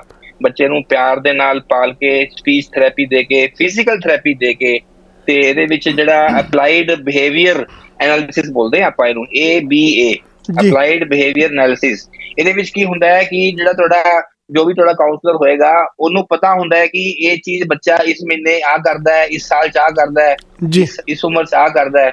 ਤੇ ਇਹਦਾ ਅਪਰੂਵਡ ਵਰਡ ਹੈ ABA ਅਪਲਾਈਡ ਬਿਹੇਵੀਅਰ ਐਨਾਲਿਸਿਸ ਉਹ ਹੁੰਦਾ ਹੈ ਆਕੂਪੇਸ਼ਨਲ ਥੈਰੇਪੀ ਹੁੰਦੀ ਹੈ। ਕੋਈ ਕੰਮ ਦੇ ਕੇ ਬੱਚੇ ਨੂੰ ਉਹ ਬੱਚਾ ਕਰਦਾ ਹੈ ਕਿ ਨਹੀਂ ਕਰਦਾ? ਇਹ ਸਾਰੀਆਂ ਥੈਰੇਪੀਆਂ ਦੇਖ ਕੇ ਕਰਾ ਕੇ ਹੌਲੀ ਹੌਲੀ ਬੱਚਾ ਕਨਸੈਂਟਰੇਸ਼ਨ ਕਰਨੀ ਸ਼ੁਰੂ ਕਰ ਦਿੰਦਾ ਹੈ। ਪੰਗਾ ਦਾ ਕਨਸੈਂਟਰੇਸ਼ਨ ਦਾ ਹੈ ਨਾ। ਬਿਲਕੁਲ ਬਿਲਕੁਲ। ਬੱਚਾ ਕਨਸੈਂਟਰੇਸ਼ਨ ਨਹੀਂ ਕਰਦਾ ਹੈ ਨਾ? ਆਪਾਂ ਗੱਲ ਵੇੜੀਏ ਤੇ ਬੱਚੇ ਦੀ ਕਨਸੈਂਟਰੇਸ਼ਨ ਕਰਾਣੀ ਹੈ। ਕਨਸੈਂਟਰੇਸ਼ਨ ਤਾਂ ਹੀ ਹੋਏਗੀ। ਲਾਸਟ ਥੈਰੇਪੀ ਜਿਹੜੀ ਆਂਦੀ ਹੈਗੀ ਹੈ ਉਹ ਹੈਗੀ ਹੈ ਫਾਰਮਾਕੋਲੋਜੀਕਲ ਥੈਰੇਪੀ ਉਹਦੇ ਚ ਹੁੰਦਾ ਦਵਾਈਆਂ। ਜੀ। ਉਹ ਤਾਂ ਮੈਡੀਸਨ ਆਈ ਉਹ ਤਾਂ ਮੈਡੀਸਨ ਹੋ ਗਈ ਡਾਕਟਰ ਸਾਹਿਬ ਥੈਰੇਪੀ ਤਾਂ ਚਲੋ ਥੈਰੇਪੀ ਤਾਂ ਹੁਣ ਹੋਗੀ ਕਿ ਡਾਕਟਰ ਵੇਖੂਗਾ ਕਿ ਉਹ ਕਿਸ ਲੈਵਲ ਤੇ ਉਹਨੂੰ ਕਿਹੜੀ ਥੈਰੇਪੀ ਕਿਸ ਤਰ੍ਹਾਂ ਕੰਮ ਕਰਦੀ ਹੈ ਪਰ ਆਪਾਂ ਜੇ ਡਾਈਟ ਦੀ ਗੱਲ ਕਰੀਏ ਮਦਰ ਦੀ ਡਾਈਟ ਦੀ ਗੱਲ ਕੀਤੀ ਤੁਸੀਂ ਦੱਸਿਆ ਕਿ ਆਇਰਨ ਤੇ ਕੈਲਸ਼ੀਅਮ ਤੋਂ ਲਾਗਾ ਇਲਾਵਾ ਓਮੇਗਾ 3 ਮੈਗਨੀਸ਼ੀਅਮ ਤੇ B12 ਤੇ A ਵਿਟਾਮਿਨ ਜਿਹੜਾ ਵਾ ਉਹ ਇੰਪੋਰਟੈਂਟ ਹੁੰਦੇ ਨੇ ਡਿਊਰਿੰਗ ਪ੍ਰੈਗਨੈਂਸੀ ਪਰ ਜਦੋਂ ਬੱਚੇ ਨੂੰ ਸਿੰਪਟਮ ਆ ਗਏ ਉਹਦੇ ਵਿੱਚ ਬੱਚੇ ਦੀ ਜਿਹੜੀ ਡਾਈਟ ਆ ਉਹ ਕਿਸ ਲੈਵਲ ਤੇ ਰੱਖੀ ਜਾਵੇ ਕਿਵੇਂ ਦੀ ਰੱਖੀ ਜਾਵੇ ਕਿ ਉਹ ਜਿਹੜਾ ਵਾ ਇਸ ਚੀਜ਼ ਚੋਂ ਡਾਈਟ ਦੇ ਜ਼ਰੀਏ ਵੀ ਥੋੜਾ ਡਿਵੈਲਪ ਹੋ ਸਕੇ ਬਾਹਰ ਨਿਕਲ ਸਕੇ? ਦੇਖੋ ਡਾਈਟ ਜਿਸ ਤਰ੍ਹਾਂ ਬੱਚੇ ਦੀ ਗੱਲ ਆਉਂਦੀ ਹੈ ਛੋਟਾ ਬੱਚਾ ਦੇਖੋ ਨਾ ਛੋਟੇ ਬੱਚੇ ਨੂੰ ਤਾਂ ਆਪਾਂ ਡਾਈਟ ਤੇ ਤਾਂ ਕੁਝ ਕਰ ਹੀ ਨਹੀਂ ਸਕਦੇ ਨਾ। ਹਾਂਜੀ। ਜਿਹੜਾ ਬੱਚਾ 8 9 8 9 ਮਹੀਨੇ ਦਾ ਬੱਚਾ ਹੈ ਨਾ, ਸਮਝੋ। ਆਪਾਂ ਮਤਲਬ ਕਿ WHO ਨੇ ਵੀ ਬੋਲਿਆ ਕਿ 7 8 ਮਹੀਨੇ ਤੱਕ ਤੁਸੀਂ ਕੁਝ ਨਹੀਂ ਕਰਨਾ, ਸਵਾਈ ਸੈਟ, ਮਤਲਬ ਕਿ ਜਿਹੜੇ ਆਪਣੇ ਫੂਡਸ ਆਉਂਦੇ ਨੇ ਬੇਬੀ ਫੂਡਸ ਆਉਂਦੇ ਨੇ, ਇਹੀ ਦੇਣਾ ਹੈ। ਤੇ ਅੱਜਕੱਲ ਬੇਬੀ ਫੂਡਸ ਦੇ ਵਿੱਚ ਨਾ ਬੇਬੀ ਫੂਡ ਦੇ ਵਿੱਚ ਵੀ ਕਈ ਚੀਜ਼ਾਂ ਆ ਗਈਆਂ ਨੇ ਅੰਡਰ ਡਿਵੈਲਪਡ ਬੇਬੀ ਹਨਾ? ਅੰਡਰ ਡਿਵੈਲਪਡ ਬੇਬੀ ਵਾਲੇ ਫੂਡਸ ਆ ਗਏ ਨੇ। ਉਹ ਤੁਹਾਡਾ ਹੁਣ ਉੱਥੇ DHA HE ਕਈ ਚੀਜ਼ਾਂ ਹੁੰਦੀਆਂ ਨੇ। ਡੀਆ ਹੁੰਦੇ ਨੇ ਡੀਐਚਈਏ ਬੋਲਦੇ ਆ। ਇਹ ਚੀਜ਼ਾਂ ਦੀ ਜਿਹੜੀ ਹੁੰਦੀ ਹੈ ਇਹ ਚੀਜ਼ਾਂ ਮਤਲਬ ਕਿ ਜਿਹੜੇ ਬੇਬੀ ਫੂਡਸ ਨੇ ਵੀ ਤੁਹਾਡਾ ਡਾਕਟਰ ਹੀ ਰეკਮੈਂਡ ਕਰੇਗਾ ਬੱਚੇ ਨੂੰ ਕਿਹੜਾ ਦੇਣਾ ਹੈ। ਲੇਕਿਨ ਜਿਹੜੇ ਵਿਟਾਮਿਨਸ ਤਾਂ ਮੈਂ ਬੋਲੇ ਸੀਗੇ ਕਿ ਜਿਹੜੇ ਮਦਰ ਵਾਸਤੇ ਹੁੰਦੇ ਨੇ ਉਹ ਸੇਮ ਵਿਟਾਮਿਨਸ ਬੱਚੇ ਜਾਂਦੇ ਨੇ ਬਟ ਬੱਚੇ ਜਿਹੜਾ ਵਿਟਾਮਿਨਸ ਆਪਾਂ ਜਿਹੜੇ ਦੇਣੇ ਨੇ ਉਹ ਓਵਰਡੋਜ਼ ਹੋ ਜਾਂਦੀ ਹੈ ਕਈ ਵਾਰੀ। ਉਹ ਥੈਰਾਪਿਊਟਿਕ ਡੋਜ਼ ਜਿਹੜੀ ਹੈਗੀ ਹੈ ਉਹ ਡਾਕਟਰ ਹੀ ਦੱਸੇਗਾ ਉਹ ਵੀ ਸਾਲ ਦੇ ਬਾਅਦ ਹੀ ਸ਼ੁਰੂ ਕਰਦਾ ਇੰਡੀਆ ਦੇ ਵਿੱਚ ਵੀ। ਜੀ ਜੀ। ਇੰਡੀਆ ਦੇ ਵਿੱਚ ਵੀ ਉਹ ਸਾਲ ਦੇ ਬਾਅਦ ਹੀ ਸ਼ੁਰੂ ਹੁੰਦੀ ਹੈ। ਬੱਚੇ ਨੂੰ ਮੈਗਨੀਸ਼ੀਅਮ ਇਸ ਤਰ੍ਹਾਂ ਨਹੀਂ ਦਿੱਤਾ ਜਾਂਦਾ। ਤੇ ਡਾਈਟ ਦੇ ਵਿੱਚ ਸਮਝ ਸਮਝਾਤਾ ਸੀਗਾ ਕਿ ਜਿਹੜਾ ਜਦ ਤੱਕ ਦੇਖੋ ਇਹ ਤੇ ਤਾਂ ਮੈਂ ਚੀਜ਼ ਦੱਸਦਾ ਹਾਂ ਜੀ ਜਿਹੜਾ ਆਪਾਂ ਬੱਚੇ ਨੂੰ ਤਾਂ ਆਪਾਂ ਵਿਟਾਮਿਨ ਦੇ ਨਹੀਂ ਸਕਦੇ ਲੇਕਿਨ ਆਪਾਂ ਮਾਂ ਨੂੰ ਦੇ ਸਕਦੇ ਹਾਂ। ਬਿਲਕੁਲ ਬਿਲਕੁਲ ਹਾਂਜੀ। ਜੀ। ਅਸੀਂ ਮਾਂ ਨੂੰ ਰॉ ਮਟੀਰੀਅਲ ਦਵਾਂਗੇ। ਦੇਖੋ ਮਾਂ ਨੇ ਜਿਹੜਾ ਦੁੱਧ ਬਣਾਣਾ ਹੈ ਨਾ ਉਹਨੇ ਜੋ ਖਾਣਾ ਦੁੱਧ ਉਹਦਾ ਬਣਨਾ ਜੀ। ਤੇ ਮੈਂ ਇੱਕ ਚੀਜ਼ ਹੋਰ ਦੱਸਦਾ ਛੋਟਿਆਂ ਨੂੰ ਕਿ ਜਿਹੜੀ ਮਾਂ ਦੁੱਧ ਪਿਲਾਉਂਦੀ ਹੈ 8 ਮਹੀਨੇ ਤੇ ਸਟਾਰਟਿੰਗ ਦੇ ਵਿੱਚ ਉਹ ਜਿੰਨਾ ਵੀ ਖਾਂਦੀ ਹੈ ਜਿੰਨਾ ਵੀ ਖਾਂਦੀ ਹੈ ਉਹਦਾ 60 ਤੋਂ 70% ਬੱਚੇ ਨੂੰ ਚਲਾ ਜਾਂਦਾ ਹੈ। ਜੀ। ਉਹ ਆਪ ਵੀ ਆਪ ਵੀ ਕਰਿੰਦੀ ਹੈ ਲੇਕਿਨ ਬੱਚੇ ਨੂੰ ਕੁਦਰਤ ਨੇ ਇਸ ਤਰੀਕੇ ਨਾਲ ਬਣਾਈ ਹੋਈ ਹੈ ਮਾਂ ਦੀ ਫਿਤਰਤ। ਕਿ ਉਹ 70 ਤੋਂ 60 70% ਜਿਹੜਾ ਆਪਣੀ ਫੀਡ ਦਾ ਬੱਚੇ ਨੂੰ ਦੇ ਦਿੰਦੀ ਹੈ। ਤੇ ਮਾਂ ਵਾਸਤੇ ਬੈਸਟ ਹੈਗਾ ਤੁਸੀਂ ਵੀ ਦੱਸ ਚੁੱਕੇ ਹੋ omega 3 magnesium folic acid folate ਬੋਲ ਦਿੰਦੇ ਆ ਫੋਲਿਕ ਐਸਿਡ ਦਾ ਬਹੁਤ ਮੇਜਰ ਰੋਲ ਹੈ ਭਾਜੀ। ਫੋਲਿਕ ਐਸਿਡ ਵੈਸੇ ਮਤਲਬ ਕਿ ਇਹਦੇ ਬਿਨਾਂ ਤਾਂ ਕੁਝ ਬੰਦਾ ਹੀ ਨਹੀਂ ਹੈ ਨਾ। ਖੂਨ ਨਹੀਂ ਬੰਦਾ ਅਗਰ ਸੋ ਕੇ ਪੰਗੇ ਪੈਂਦੇ ਆ। ਤੇ ਵਿਟਾਮਿਨ ਡੀ ਤੇ ਸੀ ਤੇ B6 ਤੇ A ਤੇ B12 ਵੀ ਆਪਾਂ ਨੂੰ ਮੇਨ ਹੈਗਾ ਇਹਦੇ ਵਿੱਚ। ਇਹ ਮਾਂ ਜਿਹੜੀ ਜਿੰਨੀਆਂ ਵੀ ਹਰਿਆਲੀ ਵਾਲੀ ਸਬਜ਼ੀਆਂ ਹੈਗੀਆਂ ਜਿੰਨੀਆਂ ਵੀ ਹਰਿਆਲੀ ਵਾਲੀ ਸਬਜ਼ੀਆਂ ਹੈਗੀਆਂ ਪੱਤਿਆਂ ਵਾਲੀ ਸਬਜ਼ੀਆਂ ਹੈਗੀਆਂ ਕੇਲ ਲੀਵਸ ਤੁਹਾਡੇ ਹੋਗੇ ਕੇਲ ਲੀਵਸ ਤਾਂ ਇੰਨਾ ਜ਼ਬਰਦਸਤ ਪੱਤਾ ਹੈਗਾ ਨਾ ਕੇਲ ਲੀਵਸ ਤੁਸੀਂ ਖਾਂਦੇ ਹੋ ਸੈਫੀ ਜੀ? ਜੀ ਜੀ ਜੀ। ਤੁਹਾਡੇ ਮਿਲਦਾ ਹੋਵੇਗਾ ਕੇਲ ਬਿਲਕੁਲ ਮਿਲਦਾ ਜੀ ਸੈਲਡ ਦੇ ਵਿੱਚ ਖਾਂਦੇ ਨੇ ਲੋਕ। ਜੀ। ਹਾਂ ਤੇ ਇੰਡੀਆ ਵਿੱਚ ਤਾਂ ਨਹੀਂ ਮਿਲਦਾ ਵਿਚਾਰੇ ਤੁਹਾਨੂੰ ਇੱਥੇ ਕੇਲੀ ਦਾ ਪਤਾ ਨਹੀਂ ਹੋਣਾ ਕਿਸੇ ਨੂੰ। ਹਾਂਜੀ। ਲੇਕਿਨ ਤੁਹਾਡੇ ਉੱਥੇ ਤਾਂ ਮੈਂ ਸੁਣਿਆ ਕਿ ਲੋਕਾਂ ਨੇ ਬਾਹਰ ਗਮਲੇ 'ਚ ਵੀ ਲਾਇਆ ਹੋਇਆ। ਬਿਲਕੁਲ ਲਾਇਆ ਹੋਇਆ ਕੇਲ ਲੀਫ ਹਾਂ ਜੀ ਕੇਲ ਲੀਫ ਦੀ ਤੁਸੀਂ ਸਮੁੰਦੀ 'ਚ ਪਾ ਕੇ ਇੱਕ ਪੱਤਾ ਘੱਟ ਤੋਂ ਘੱਟ ਸਾਫ਼ ਕਰਕੇ ਤੁਸੀਂ ਕੇਲ ਲੀਫ ਇਹੋ ਜਿਹੀ ਚੀਜ਼ਾਂ ਜਿਹੜੀਆਂ ਆਉਂਦੀਆਂ ਨੇ ਜਿਨ੍ਹਾਂ ਵਿੱਚ ਬਹੁਤ ਅੱਛੇ ਮਿਨਰਲਸ ਨੈਚੁਰਲ ਮਿਨਰਲਸ ਮਿਲਦੇ ਨੇ ਤੇ ਮਦਰ ਆਪਣੀ ਡਾਈਟ ਦੇ ਵਿੱਚ ਲਵੇ। ਤੇ ਮੈਨੂੰ ਪੂਰੀ ਉਮੀਦ ਹੈਗੀ ਹੈ ਕਿ ਅਗਰ ਮਦਰ ਨਿਊਟ੍ਰੀਸ਼ੀਅਸ ਹੈਗੀ ਹੈ ਮਦਰ ਅਗਰ ਟਾਈਮ ਸਿਰ ਪ੍ਰੈਗਨੈਂਸੀ ਲੈਂਦੀ ਹੈ ਤੇ ਆ ਸਭ ਚੀਜ਼ਾਂ ਜਿਹੜੀਆਂ ਹਰਿਆਲੀ ਦੇਖੋ ਨਾ ਜਿੱਥੇ ਹਰਿਆਲੀ ਆ ਗਈ ਨਾ ਉੱਥੇ ਰੱਬ ਨੇ ਕੁਛ ਨਾ ਕੁਛ ਪਾਇਆ ਮੈਂ ਦੇਖਿਆ ਜਿੱਥੇ ਹਰਿਆਲੀ ਵੀ ਹਰਿਆਲੀ ਤੋਂ ਬਾਅਦ ਜਿੱਥੇ ਰੰਗ ਆ ਗਿਆ ਨਾ ਗੂੜਾ। ਹਾਂਜੀ ਹਾਂਜੀ। ਜਿੱਥੇ ਆ ਬੀਟ ਰੂਟ ਆ ਗਈ ਤੁਹਾਡੀ ਰੈੱਡ ਤੇ ਯੈਲੋ ਕੈਪਸਿਕਮ ਬੈਲ ਪਾਈਪਰ ਆ ਗਿਆ ਤੇ ਆ ਸਟ੍ਰਾਬੇਰੀਜ਼ ਹੋ ਗਈਆਂ ਆ ਤੁਹਾਡੀਆਂ ਕ੍ਰੈਨਬੇਰੀਜ਼ ਹੋ ਗਈਆਂ ਆ ਤੁਹਾਡੀ ਬਲੂਬੇਰੀਜ਼ ਹੋ ਗਈਆਂ। ਇਹ ਜਿੰਨੀਆਂ ਚੀਜ਼ਾਂ ਨੇ ਦੇ ਆਰ ਐਂਟੀਆਕਸੀਡੈਂਟ ਅਗਰ ਆਪਾਂ ਦੇਖੋ ਖੁਰਾਕ ਸਹੀ ਰੱਖਾਂਗੇ ਸਾਡੀ ਉਪਜ ਅੱਛੀ ਹੋਏਗੀ। ਜਦ ਉਪਰ ਅੱਛੀ ਹੋਏਗੀ ਅਸੀਂ ਵੀ ਖੁਸ਼ ਰਹਾਂਗੇ ਬੱਚਾ ਵੀ ਖੁਸ਼ ਰਹੇਗਾ। ਤੇ ਇਹਦਾ ਬਹੁਤ ਤੁਸੀਂ ਅੱਜ ਜਿਹੜਾ ਟੌਪਿਕ ਛੇੜਿਆ ਹੈ ਨਾ ਏਐਸਡੀ ਦਾ ਬੜਾ ਸੈਂਸਿਟਿਵ ਟੌਪਿਕ ਸੀਗਾ। ਡਾਕਟਰ ਸਾਹਿਬ ਮੈਨੂੰ ਐਕਚੁਅਲੀ ਐਕਚੁਅਲੀ ਕੀ ਸੀ ਕਿ ਮੈਨੂੰ ਸਰੋਤਿਆਂ ਦਾ ਜਿਹੜਾ ਮੈਸੇਜ ਸੀਗਾ ਕਿ ਇਸ ਟੌਪਿਕ ਤੇ ਗੱਲਬਾਤ ਕੀਤੀ ਜਾਵੇ ਤਾਂ ਛੇੜਿਆ ਗਿਆ। ਹੁੰਦਾ ਕੀ ਹੈ ਕਿ ਸਾਡੇ ਅਸੀਂ ਜੇ ਇੱਥੇ ਵੀ ਦੇਖਿਆ ਜਾਵੇ ਇੰਡੀਆ ਦੇ ਵਿੱਚ ਦੇਖਿਆ ਜਾਵੇ ਤੇ ਬੜੀ ਦੇਰ ਬਾਅਦ ਬੱਚਿਆਂ ਦੀ ਉਹ ਚੀਜ਼ ਰਿਕੋਗਨਾਈਜ਼ ਹੁੰਦੀ ਆ ਕਿ ਉਹਨਾਂ ਨੂੰ ਏਐਸਡੀ ਦੀ ਪ੍ਰੋਬਲਮ ਹੈਗੀ ਆ। ਇੱਥੇ ਇਹ ਹੈਗਾ ਕਿ ਜੇ ਬੱਚਾ ਬਕਾਇਦਾ ਡਾਕਟਰ ਦੇ ਕੋਲ ਚੈੱਕਅਪ ਲਈ ਜਾ ਰਿਹਾ ਵਾ ਤਾਂ ਡਾਕਟਰ ਲੱਛਣਾਂ ਤੋਂ ਕੁਝ ਹੱਦ ਤੱਕ ਪਤਾ ਲਾ ਲੈਂਦੇ ਆ। ਪਰ ਫਿਰ ਵੀ ਮਾਂ-ਬਾਪ ਦਾ ਰੋਲ ਹੈ ਕਿਉਂਕਿ ਮਾਂ-ਬਾਪ ਨੇ ਬੱਚੇ ਨੂੰ ਪੈਦਾ ਕੀਤਾ ਉਹਨਾਂ ਨੇ ਪਾਲਣਾ ਪੋਸਣਾ ਔਰ ਉਹਨਾਂ ਨੂੰ ਪਤਾ ਹੋਣਾ ਚਾਹੀਦਾ ਕਿ ਇਹਦੀ ਪ੍ਰੋਪਰ ਡਿਵੈਲਪਮੈਂਟ ਹੋ ਰਹੀ ਆ। ਖੁੰਦਾ ਕੀ ਆ ਕਿ ਸਾਡੀ ਕਮਿਊਨਿਟੀ ਦੇ ਵਿੱਚ ਸਾਡੀ ਨਹੀਂ ਮੈਂ ਬਹੁਤ ਸਾਰੀਆਂ ਕਮਿਊਨਿਟੀਆਂ ਦੇ ਵਿੱਚ ਵਿਚਰਦਾ ਇੱਥੇ ਵੀ। ਦੇਖਦੇ ਆ ਕਿ ਮਾਂ-ਬਾਪ ਪਹਿਲਾਂ ਪ੍ਰਪੇਅਰ ਨਹੀਂ ਹੁੰਦੇ। ਆਪਣੀ ਨੈਕਸਟ ਜਨਰੇਸ਼ਨ ਨੂੰ ਪੈਦਾ ਕਰ ਲਈ। ਉਹ ਅਨਪਲੈਨਡ ਅਨਪਲੈਨਡ ਬੱਚੇ ਪੈਦਾ ਕਰਦੇ ਨੇ ਉਸ ਕਰਕੇ ਜਿਹੜੀਆਂ ਬੱਚਿਆਂ ਦੀਆਂ ਫਿਜ਼ੀਕਲੀ ਮੈਂਟਲੀ ਜਿਹੜੀਆਂ ਪ੍ਰੋਬਲਮ ਆਉਂਦੀਆਂ ਨੇ ਉਹ ਅੱਗੇ ਜਾ ਕੇ ਮਾਪੇ ਲਈ ਵੀ ਪਰੇਸ਼ਾਨੀ ਦਾ ਸਬਬ ਹੁੰਦੀਆਂ ਨੇ ਬੱਚਿਆਂ ਲਈ ਤਾਂ ਹੁੰਦੀਆਂ ਨੇ ਕਿਉਂਕਿ ਸਾਰੀ ਉਮਰ ਕੋਈ ਚੀਜ਼ਾਂ ਇਹੋ ਜਿਹੀਆਂ ਜਿਹੜੀਆਂ ਐਂਡ ਤੱਕ ਨਹੀਂ ਜਾਂਦੀਆਂ। ਈਵਨ ਸੋਸਾਇਟੀ ਤੇ ਸਿਸਟਮ ਦੇ ਉੱਪਰ ਵੀ ਜੇ ਅਸੀਂ ਇੱਥੇ ਹੈਲਥ ਸਿਸਟਮ ਦੀ ਗੱਲ ਕਰਦੇ ਆ ਤੇ ਜੇਕਰ ਬੱਚਾ ਕੋਈ ਫਿਜ਼ੀਕਲੀ ਫਿਟ ਨਹੀਂ ਗਿਆ ਤੇ ਉਹ ਸਾਰੀ ਉਮਰ ਹੈਲਥ ਸਿਸਟਮ ਤੇ ਜਿਹੜਾ ਵਾ ਡਿਪੈਂਡੈਂਟ ਹੋ ਜਾਊਗਾ ਹੈਲਥ ਸਿਸਟਮ ਤੇ ਵੀ ਬੋਝ ਪਊਗਾ। ਇਸ ਕਰਕੇ ਬੱਚੇ ਨੂੰ ਜਿਹੜਾ ਧਿਆਨ ਰੱਖਣਾ ਬਹੁਤ ਜ਼ਰੂਰੀ ਆ। ਡਾਕਟਰ ਸਾਹਿਬ ਤੁਸੀਂ ਜਿਹੜੀ ਗੱਲ ਕੀਤੀ ਮਾਂ ਦੀ ਡਾਈਟ ਦੀ ਡਿਊਰਿੰਗ ਪ੍ਰੈਗਨੈਂਸੀ ਤੇ ਡਿਊਰਿੰਗ ਜਦੋਂ ਬੱਚੇ ਨੂੰ ਉਹ ਫੀਡ ਕਰਦੀ ਆ। ਹਾਂਜੀ ਉਹਨਾਂ ਦਿਨਾਂ ਦੇ ਵਿੱਚ ਆਪਣੀ ਕਮਿਊਨਿਟੀ ਦੇ ਵਿੱਚ ਇੱਕ ਰੁਝਾਨ ਹੁਣ ਸ਼ੁਰੂ ਹੋਇਆ। ਪਹਿਲਾਂ ਨਹੀਂ ਸੀ ਹੁੰਦਾ ਕਿ ਡਰਿੰਕ ਕਰਨ ਦਾ। ਪਹਿਲਾਂ ਆਪਣੀਆਂ ਆਪਣੀ ਕਮਿਊਨਿਟੀ 'ਚ ਕਦੀ ਵੀ ਕੋਈ ਇਹੋ ਜੀ ਚੀਜ਼ ਨਹੀਂ ਹੁੰਦੀ। ਸਮੋਕਿੰਗ ਤੇ ਡਰਿੰਕਿੰਗ ਕਿਤੇ ਨਾ ਕਿਤੇ ਉਹ ਚੀਜ਼ ਜਿਹੜੀ ਉਹ ਕਿੰਨਾ ਕ ਅਸਰ ਕਰਦੀ ਆ ਏਐਸਡੀ ਦੇ ਮਸਲੇ ਤੋਂ? ਨਾ ਨਾ ਪਾਜੀ ਉਹ ਤਾਂ ਕੰਮ ਬਿਲਕੁਲ ਹੀ ਨਹੀਂ ਕਰਨਾ। ਮੈਂ ਤੁਹਾਨੂੰ ਦੱਸ ਰਿਹਾ ਅਗਰ ਤੁਸੀਂ ਮਾਂ ਅਗਰ ਬੰਨਾ ਹੈ ਪਹਿਲਾਂ ਤੁਸੀਂ ਦਿਮਾਗ ਆਪਣਾ ਸੈੱਟ ਕਰੋ ਪ੍ਰਿਪੇਅਰ ਹੋਵੋ। ਤੁਸੀਂ ਜੋ ਕਰਨਾ ਹੈ ਉਹਨੂੰ ਪਹਿਲੇ ਕਰ ਲਓ। ਭਾਈ ਡਰਿੰਕਿੰਗ ਵਾਲਾ ਕੰਮ ਸਮੋਕਿੰਗ ਵਾਲਾ ਕੰਮ ਨਹੀਂ ਕਰਨਾ। ਇਹ ਸਾਰੇ ਦੇਖੋ ਸਮੋਕਿੰਗ ਤਾਂ 101% ਜੀਨ ਮੋਟੇਸ਼ਨ ਤੇ ਹੈਲਪ ਕਰਦੀ ਹੈ। ਜੀ। ਸਮੋਕਿੰਗ ਜਿਹੜੀ ਹੈਗੀ ਹੈ ਜੀਨ ਮੋਟੇਸ਼ਨ ਮੈਂ ਦੁਬਾਰਾ ਬੋਲ ਰਿਹਾ ਜੀਨ ਮੋਟੇਸ਼ਨ ਜੀਨ ਮੋਟੇਸ਼ਨ ਦੇ ਨਾਲ ਹੀ ਇਹ ਤੁਹਾਡਾ ਬੱਚਾ ਏਐਸਡੀ ਦਾ ਪੇਸ਼ੈਂਟ ਬਣੇਗਾ। ਤੇ ਆਪਾਂ ਕੋਈ ਐਸੀ ਗਲਤੀ ਨਾ ਕਰ ਦਈਏ ਕਿ ਜਿਹੜਾ ਬੱਚਾ ਛੋਟੀ ਜੀ ਗਲਤੀ ਕੀਤੀ ਤੇ ਬਾਅਦ ਜ਼ਿੰਦਗੀ ਪਰ ਤੁਹਾਡੇ ਤੇ ਵੀ ਮੈਂ ਮੈਂ ਕਿਸਮ ਦਾ ਬੋਝ ਤਾਂ ਨਹੀਂ ਬੋਲਾਂਗਾ। ਬੋਝ ਹੀ ਕਹਿ ਦੋ ਤੁਸੀਂ ਕਿਸਮ ਦਾ ਬੋਝ ਹੀ ਕਹਿ ਸਕਦੇ ਜੀ। ਹਾਂ। ਬਹੁਤ ਹੀ ਕਹਿ ਸਕਦੇ ਹਾਂ ਬੜਾ ਸੈਂਸਿਟਿਵ ਟੌਪਿਕ ਹੈ ਭਾਜੀ ਧਿਆਨ ਨਾਲ ਬੋਲਣਾ ਪੈਂਦਾ। ਜੀ ਜੀ ਹਾਂ ਕਿਉਂਕਿ ਆਪਾਂ ਉਸ ਟਾਈਮ ਸੋਚਦੇ ਹਾਂ ਕਿ ਸਾਡਾ ਬੱਚਾ ਐ ਹੋ ਗਿਆ ਤੇ ਅਸੀਂ ਕੀ ਕਰੀਏ। ਬਾਕੀ ਆਪਾਂ ਦੇਖੋ ਬਾਕੀ ਤਾਂ ਦੇਖੋ ਅਸੀਂ ਛੱਡ ਦਿੰਨੇ ਆ ਉੱਪਰ ਵਾਲੇ ਦੇ ਉੱਤੇ ਹੈਨਾ? ਲੇਕਿਨ ਜਿਹੜਾ ਥੱਲੇ ਵਾਲੇ ਸਾਡੀ ਡਿਊਟੀ ਜਿਹੜੀ ਬੰਦੀ ਹੈ ਆਪਾਂ ਪੂਰੀ ਕਰੀਏ ਮੇਰੇ ਹਿਸਾਬ ਦੇ ਨਾਲ ਸਭ ਕੁਝ ਠੀਕ ਹੋਏਗਾ। ਗਲਤੀਆਂ ਸਾਡੀਆਂ ਹੁੰਦੀਆਂ ਨੇ ਅਸੀਂ ਉੱਪਰ ਵਾਲੇ ਦੀ ਗਲਤੀ ਪਾ ਦਿੰਨੇ ਆ ਕਿ ਉਹਨੇ ਐ ਕੀਤਾ ਤੇ ਉਹਨੇ ਐ ਕੀਤਾ ਹੈਨਾ? ਤੇ ਸਾਡੀਆਂ ਗਲਤੀਆਂ ਜਿਹੜੀਆਂ ਹੈਗੀਆਂ ਨੇ smoking and alcohol totally prohibited totally prohibited during pregnancy and during lactation ਜਿਹੜੀ ਮਾਂ ਮੇਰੀ ਗੱਲ ਸੁਣ ਰਹੀ ਹੈ ਉਹ ਧਿਆਨ ਨਾਲ ਸੁਣ ਲਵੇ ਇਹ ਚੀਜ਼ ਨਹੀਂ ਕਰਨੀ ਕਿਉਂਕਿ ਤਾਂ ਮੈਂ ਸੁਣਾਇਆ ਸੀਗਾ ਕਿ 60 ਤੋਂ 70% of your diet goes to ਬੱਚਾ ਜੀ ਜੀ ਸਿੱਧੀ ਜੀ ਗੱਲ ਹੈ ਤੁਸੀਂ ਜੋ ਖਾਓਗੇ ਜੋ ਕਹਿੰਦੇ ਨੇ ਆਪਾਂ ਜੋ ਬੀਜਾਂਗੇ ਉਹੀ ਉਗੇਗਾ। ਬਿਲਕੁਲ ਬਿਲਕੁਲ। ਤੇ ਹਾਂ ਤੇ ਬੱਚੇ ਕਈ ਵਾਰੀ ਤਾਂ ਮੈਂ ਦੱਸ ਦਿੰਦਾ ਇਹ ਵੀ ਯੂਰੀ ਨਹੀਂ ਹੈਗਾ ਕਈ ਵਾਰੀ ਮੋਟੇਸ਼ਨ ਛੋਟੀ ਹੁੰਦੀ ਹੈ ਬੱਚੇ 'ਚ ਏਐਸਡੀ ਬਹੁਤ ਛੋਟੀ ਮਾਤਰਾ 'ਚ ਹੁੰਦਾ ਹੈ ਲੇਕਿਨ ਤੁਸੀਂ ਇਹ ਚੀਜ਼ਾਂ ਖਾ ਕੇ ਜਿਹੜੀਆਂ ਤੁਸੀਂ ਆਰਪੀਜੀ ਬੋਲੀਆਂ ਨੇ ਇਹ ਚੀਜ਼ਾਂ ਖਾ ਕੇ ਜਾਂ ਪੀ ਕੇ ਜਾਂ ਇਹਨੂੰ ਜੋ ਵੀ ਤੁਸੀਂ ਸਿਗਰਟ ਵਗੈਰਾ ਪੀਂਦੇ ਹੋ ਇਹਦੇ ਕਰਕੇ ਸਮੋਕਿੰਗ ਕਰਕੇ ਇਹ ਚੀਜ਼ਾਂ ਐਗਰੀਗੇਟ ਹੋ ਜਾਂਦੀਆਂ ਇਹ ਚੀਜ਼ਾਂ ਇਕੱਠੀਆਂ ਹੋ ਕੇ ਵੱਧਦੀਆਂ ਉਹ ਨਾ ਪੰਗਾ ਪਾ ਲਿਓ ਤੁਸੀਂ। ਉਹ ਨਾ ਪੰਗਾ ਪਾ ਲਿਓ। ਕਿਉਂਕਿ ਜਿਹੜੀ ਅੱਗ ਲੱਗੀ ਹੋਈ ਹੈ ਤੁਸੀਂ ਪੈਟਰੋਲ ਸੁੱਟ ਦੋ ਉਹਦੇ ਵਿੱਚ। ਜਿਹੜੀ ਜਿਹੜੇ ਮੋਟੇਸ਼ਨ ਹੋ ਗਈ ਹੈ ਅਸੀਂ ਵੱਡੀ ਉਮਰ ਦੇ ਵਿੱਚ ਅਸੀਂ ਪ੍ਰੈਗਨੈਂਸੀ ਲਿੱਤੀ ਹੈ ਤੇ ਉਹਦੇ ਬਾਅਦ ਤੁਸੀਂ ਇਹ ਚੀਜ਼ਾਂ ਕਰ ਰਹੇ ਹੋ ਤੇ ਨਾ ਕਰੋ। ਕੁਝ ਨਹੀਂ ਕਰਨਾ। ਇਹ ਜਦ ਮਦਰ ਬੰਨਣਾ ਹੈ ਇਹ ਪ੍ਰਣ ਲੈ ਕੇ ਮਦਰ ਬੰਨਣਾ ਹੈ ਕਿ ਮੈਂ ਅੱਛਾ ਖਾਊਂਗੀ। ਦੇਖੋ ਤੁਸੀਂ ਇਹ ਮਾਂ ਬਣ ਰਹੇ ਹੋ ਨਾ ਤੁਸੀਂ ਇੱਕ ਨੈਕਸਟ ਜਨਰੇਸ਼ਨ ਦੇ ਰਹੇ ਹੋ ਦੁਨੀਆ ਨੂੰ। ਬਿਲਕੁਲ ਬਹੁਤ ਵੱਡਾ ਕੰਮ ਕਰ ਰਹੇ ਹੋ। ਹਾਂਜੀ। ਬਹੁਤ ਵੱਡਾ ਕੰਮ ਕਰ ਰਹੇ ਹੋ। ਮਾਂ ਬੰਨਾ ਇਜ਼ ਅ ਵੈਰੀ ਮਤਲਬ ਕਿ ਹਾਈ ਮਤਲਬ ਪ੍ਰੋਫੈਸ਼ਨਲ ਡਿਊਟੀ ਹੈ ਤੁਹਾਡੀ।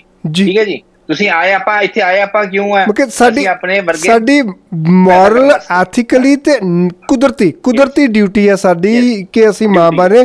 ਡਾਕਟਰ ਸਾਹਿਬ ਤੁਸੀਂ ਮਾਂ ਦੀ ਗੱਲ ਕਰ ਦਿੱਤੀ ਪਰ ਮੈਂ ਚਾਹਣਾ ਕਿ ਪਿਓ ਵੀ ਉਹਨਾਂ ਦਿਨਾਂ ਦੇ ਵਿੱਚ ਖਾਸ ਕਰਕੇ ਡਿਊਰਿੰਗ ਜਿਹੜਾ ਉਹਨਾਂ ਦਿਨਾਂ ਦੇ ਵਿੱਚ ਜਦੋਂ ਮਾਂ ਪ੍ਰਪੇਅਰ ਹੋ ਰਹੀ ਹੈ ਪ੍ਰੈਗਨੈਂਸੀ ਲਈ ਪਿਓ ਨੂੰ ਵੀ ਇਹ ਚੀਜ਼ਾਂ ਅਵੋਇਡ ਕਰ ਦੇਣੀਆਂ ਚਾਹੀਦੀਆਂ ਕਿਉਂਕਿ ਏਐਸਡੀ ਲਈ ਤੁਸੀਂ ਦੱਸਿਆ ਕਿ ਪਿਓ ਦਾ ਵੀ ਰੋਲ ਰਹਿੰਦਾ ਸਪਰਮਸ ਦਾ ਵੀ ਰੋਲ ਰਹਿੰਦਾ।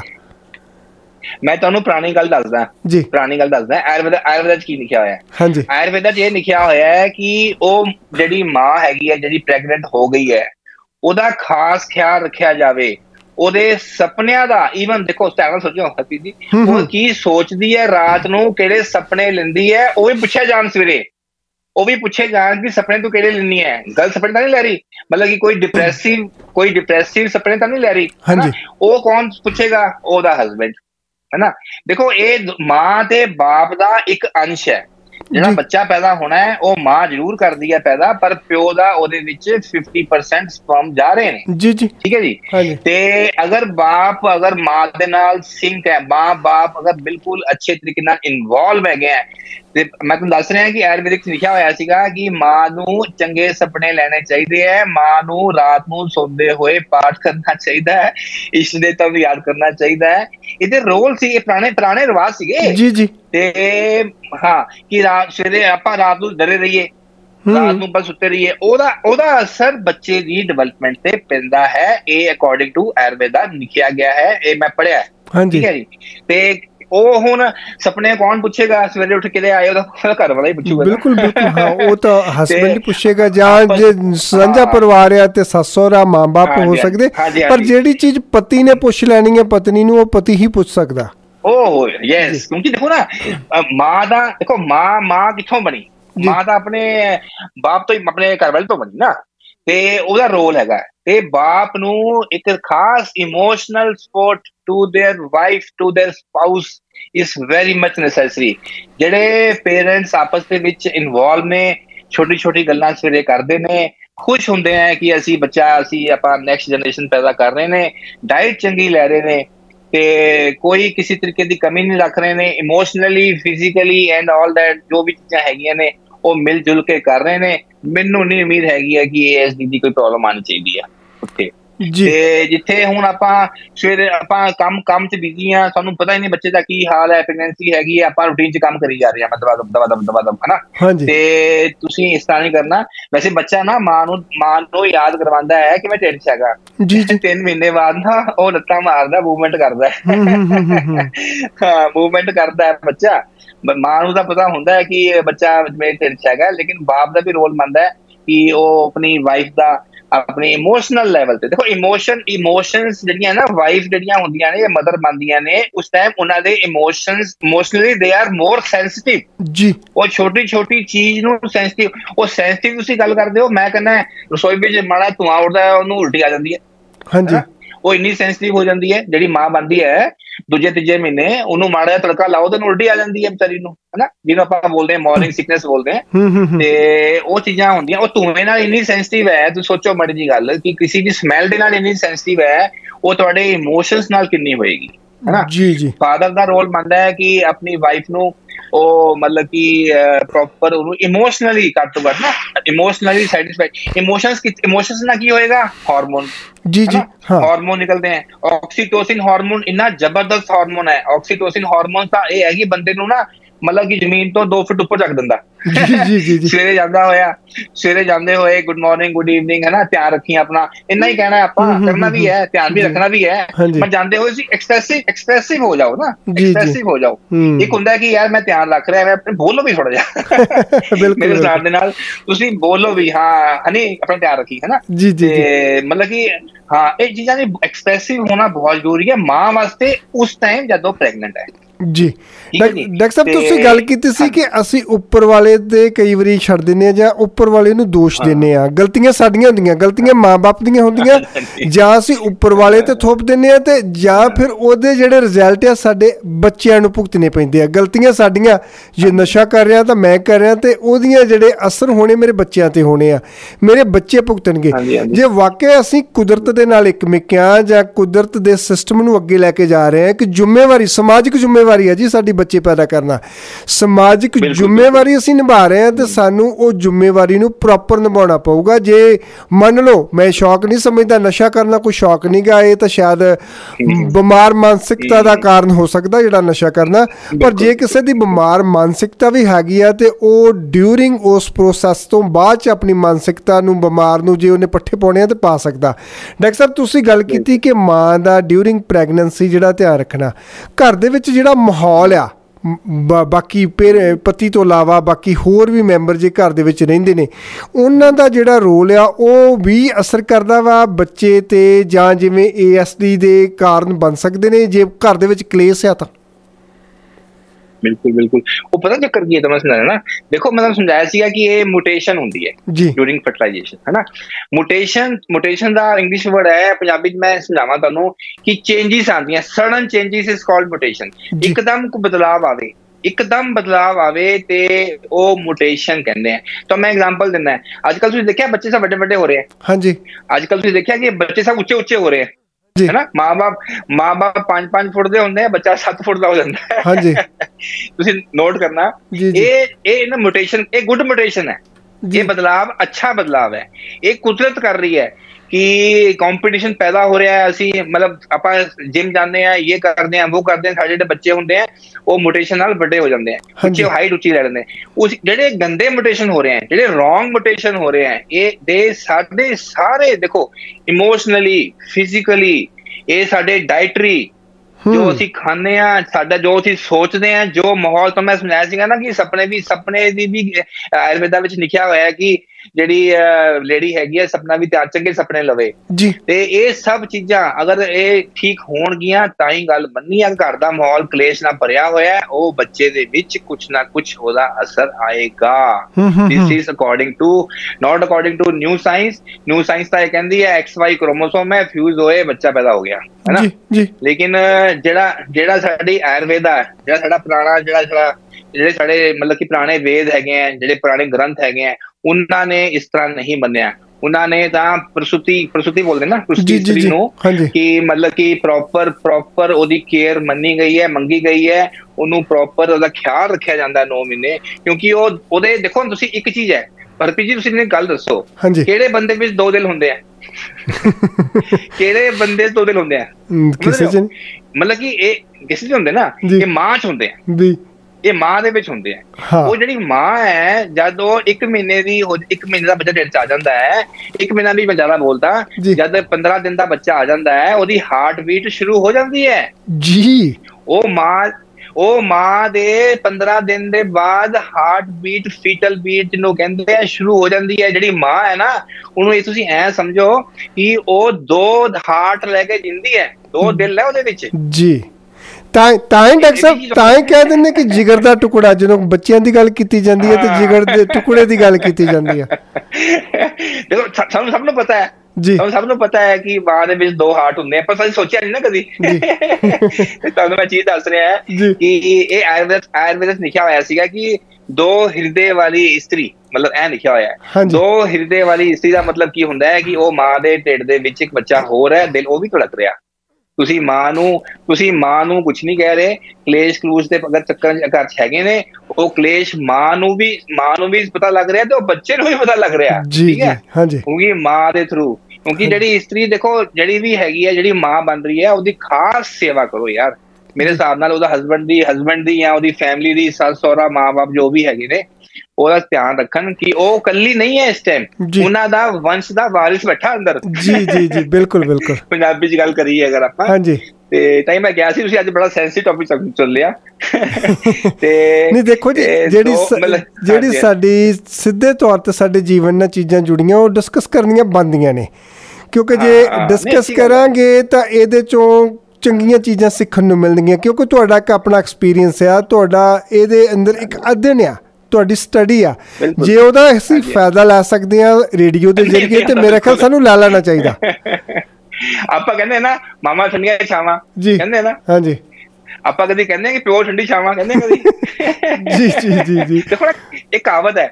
ਮਾਮਾ ਠੰਡੀ ਛਾਂ ਕੁਝ ਕੁਝ ਵੀ ਹੁੰਦਾ ਹੈ ਹਾਏ ਮਾਂ। ਚਾਹੇ ਮਾਂ ਨਾਲ ਗੱਲ ਨਾ ਕੀਤੀ ਹੋਵੇ ਕੁਝ ਵੀ ਸੱਟ ਵੱਜੇ ਹਾਏ ਮਾਂ।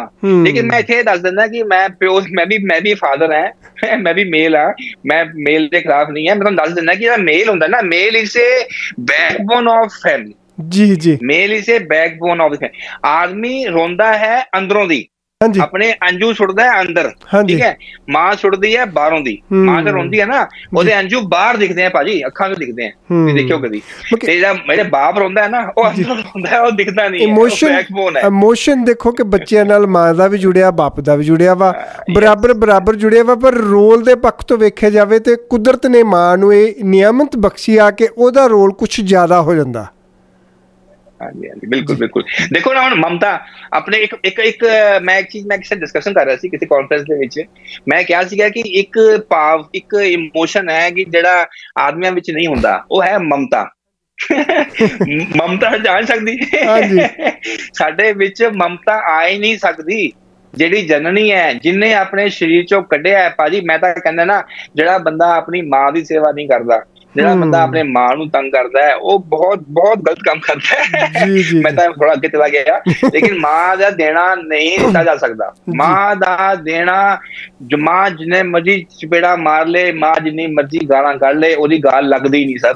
ਹਾਂਜੀ। ਉਹਨੇ ਹੀ ਜੰਮਿਆ ਸਾਨੂੰ ਯਾਰ ਹੈਨਾ? ਜੀ। ਉਹਨੇ ਹੀ ਜੰਮਿਆ ਹੈ ਸਾਨੂੰ। ਜੀ, ਡਾਕਟਰ ਸਾਹਿਬ। ਤੇ ਮਾਂ ਦਾ ਹਾਂਜੀ ਮਾਂ ਦਾ ਜਿਹੜਾ ਰੋਲ ਹੈਗਾ ਉਹ ਉਹ ਅਸੀਂ ਸਾਡੀ ਡਿਊਟੀ ਕੀ ਬਣਦੀ ਹੈ? ਜਦ ਮਾਂ ਪ੍ਰੈਗਨੈਂਟ ਹੁੰਦੀ ਹੈ ਤੇ ਉਹਦਾ ਆਪਾਂ ਉਹਦੇ ਹਸਬੰਡ ਰੋਲ ਬਣਦਾ ਹੈ ਉਹਦੀ ਫੈਮਿਲੀ ਰੋਲ ਬਣਦਾ ਹੈ ਕਿ ਉਹਨੂੰ ਇਮੋਸ਼ਨਲੀ ਉਹਨੂੰ ਨਿਊਟ੍ਰੀਸ਼ਨਲੀ ਉਹਨੂੰ ਫਿਜ਼ੀਕਲੀ ਖੁਸ਼ ਰੱਖੇ ਉਹ 9 ਮਹੀਨੇ ਘੱਟ ਤੋਂ ਘੱਟ ਬਾਅਦ ਤੋਂ ਵੀ ਖੁਸ਼ ਰੱਖੇ। ਲੇਕਿਨ ਉਹ 9-10 ਮਹੀਨੇ ਹੈਗੇ ਜਿਹੜੇ ਉਹ ਖੁਸ਼ ਰੱਖੇ ਤਾਂ ਕਿ ਇਹ ਜਿਹੜੀਆਂ ਏਐਸਟੀ ਵਰਗੀਆਂ ਪ੍ਰੋਬਲਮਾਂ ਹੈਗੀਆਂ ਨਾ ਇਹ ਪਾਸੇ ਹੋਣ। ਜੀ ਬਹੁਤ ਬਹੁਤ ਮਿਹਰਬਾਨੀ ਡਾਕਟਰ ਸਾਹਿਬ।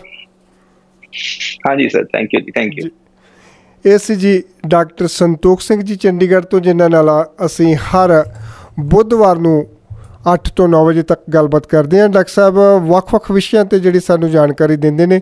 ਸਰੋਤਿਆਂ ਦਾ ਇਹ ਕਹਿਣਾ ਸੀ ਕਿ ਏਐਸਡੀ ਤੇ ਗੱਲਬਾਤ ਕੀਤੀ ਜਾਵੇ, ਕਿਉਂਕਿ ਸਾਡੀ ਸੁਸਾਇਟੀ ਦੇ ਵਿੱਚ ਕੁਝ ਕੁ ਚੀਜ਼ਾਂ ਜੀ ਬਹੁਤ ਜ਼ਿਆਦਾ ਪੇਰੈਂਟਸ ਜਿਹੜੇ ਅਵੇਅਰ ਨੇ, ਬਿਨਾਂ ਸ਼ੱਕ ਉਹ ਆਪਣੇ ਬੱਚਿਆਂ ਦਾ ਧਿਆਨ ਰੱਖਦੇ ਨੇ, ਪਰ ਕੁਝ ਪੇਰੈਂਟ ਜਿਹੜੇ ਆ ਓਵੇਸਲੇ ਹੋ ਜਾਂਦੇ ਨੇ। ਉਹਨਾਂ ਦੇ ਵੱਖ-ਵੱਖ ਤਰ੍ਹਾਂ ਦੇ ਕਾਰਨ ਹੋ ਸਕਦੇ ਨੇ ਫੈਮਿਲੀ ਹਾਲਾਤ ਹੋ ਸਕਦੇ ਨੇ ਪਰਸਨਲ ਹਾਲਾਤ ਹੋ ਸਕਦੇ ਨੇ। ਪਰ ਜਦੋਂ ਅਸੀਂ ਬੱਚਿਆਂ ਦਾ ਪਾਲਣ ਪੋਸ਼ਣ ਕਰਨਾ ਵਾ ਤਾਂ ਸਾਨੂੰ ਬੱਚੇ ਦਾ ਖਾਸ ਖਿਆਲ ਰੱਖਣ ਦੀ ਲੋੜ ਆ।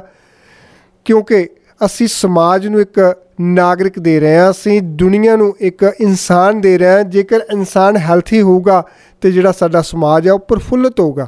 ਜੇਕਰ ਇਨਸਾਨ ਹੈਲਥੀ ਨਹੀਂ ਹੋਊਗਾ, ਉਹ ਮਾਂ-ਬਾਪ ਲਈ ਵੀ ਪਰੇਸ਼ਾਨੀ ਹੋ ਸਕਦੀ ਆ, ਕਿਉਂਕਿ ਮਾਂ-ਬਾਪ ਨੇ ਉਹਨੂੰ ਪਾਲਣਾ ਵਾ, ਮਾਂ-ਬਾਪ ਉਹਦੇ ਨਾਲ ਰਹਿਣੇ ਨੇ। ਤੇ ਉਸ ਤੋਂ ਅੱਗੇ ਜਾ ਕੇ ਉਹ ਆਪਣੇ ਆਪ ਲਈ ਵੀ ਮੁਸ਼ਕਲ ਹੋ ਸਕਦਾ ਵਾ। ਸਰੋਤਿਓ, ਪ੍ਰੋਗਰਾਮ ਕਿਵੇਂ ਦਾ ਲੱਗਿਆ? ਜਰੂਰ ਦੱਸਿਓ। ਰੇਡੀਓ ਸੁਰਸੰਗਮ ਤੇ ਤੁਹਾਡੀ ਜਿਹੜੀ ਫੀਡਬੈਕ ਆਉਂਦੀ ਆ, ਉਹ ਦੇ ਲਈ ਅਸੀਂ ਤੁਹਾਡਾ ਬਹੁਤ ਧੰਨਵਾਦ ਕਰਦੇ ਰਹਿੰਦੇ ਆ। ਰੇਡੀਓ ਸੁਰਸੰਗਮ ਦੇ ਪ੍ਰੋਗਰਾਮ ਤੁਸੀਂ ਸੋਮਵਾਰ ਤੋਂ ਸ਼ੁੱਕਰਵਾਰ ਤੱਕ 1440 AM ਤੇ ਸੁਣਦੇ ਹੋ। ਅੱਜ ਦੇ ਪ੍ਰੋਗਰਾਮ ਦੀ ਇੱਥੇ ਹੀ ਸਮਾਪਤੀ।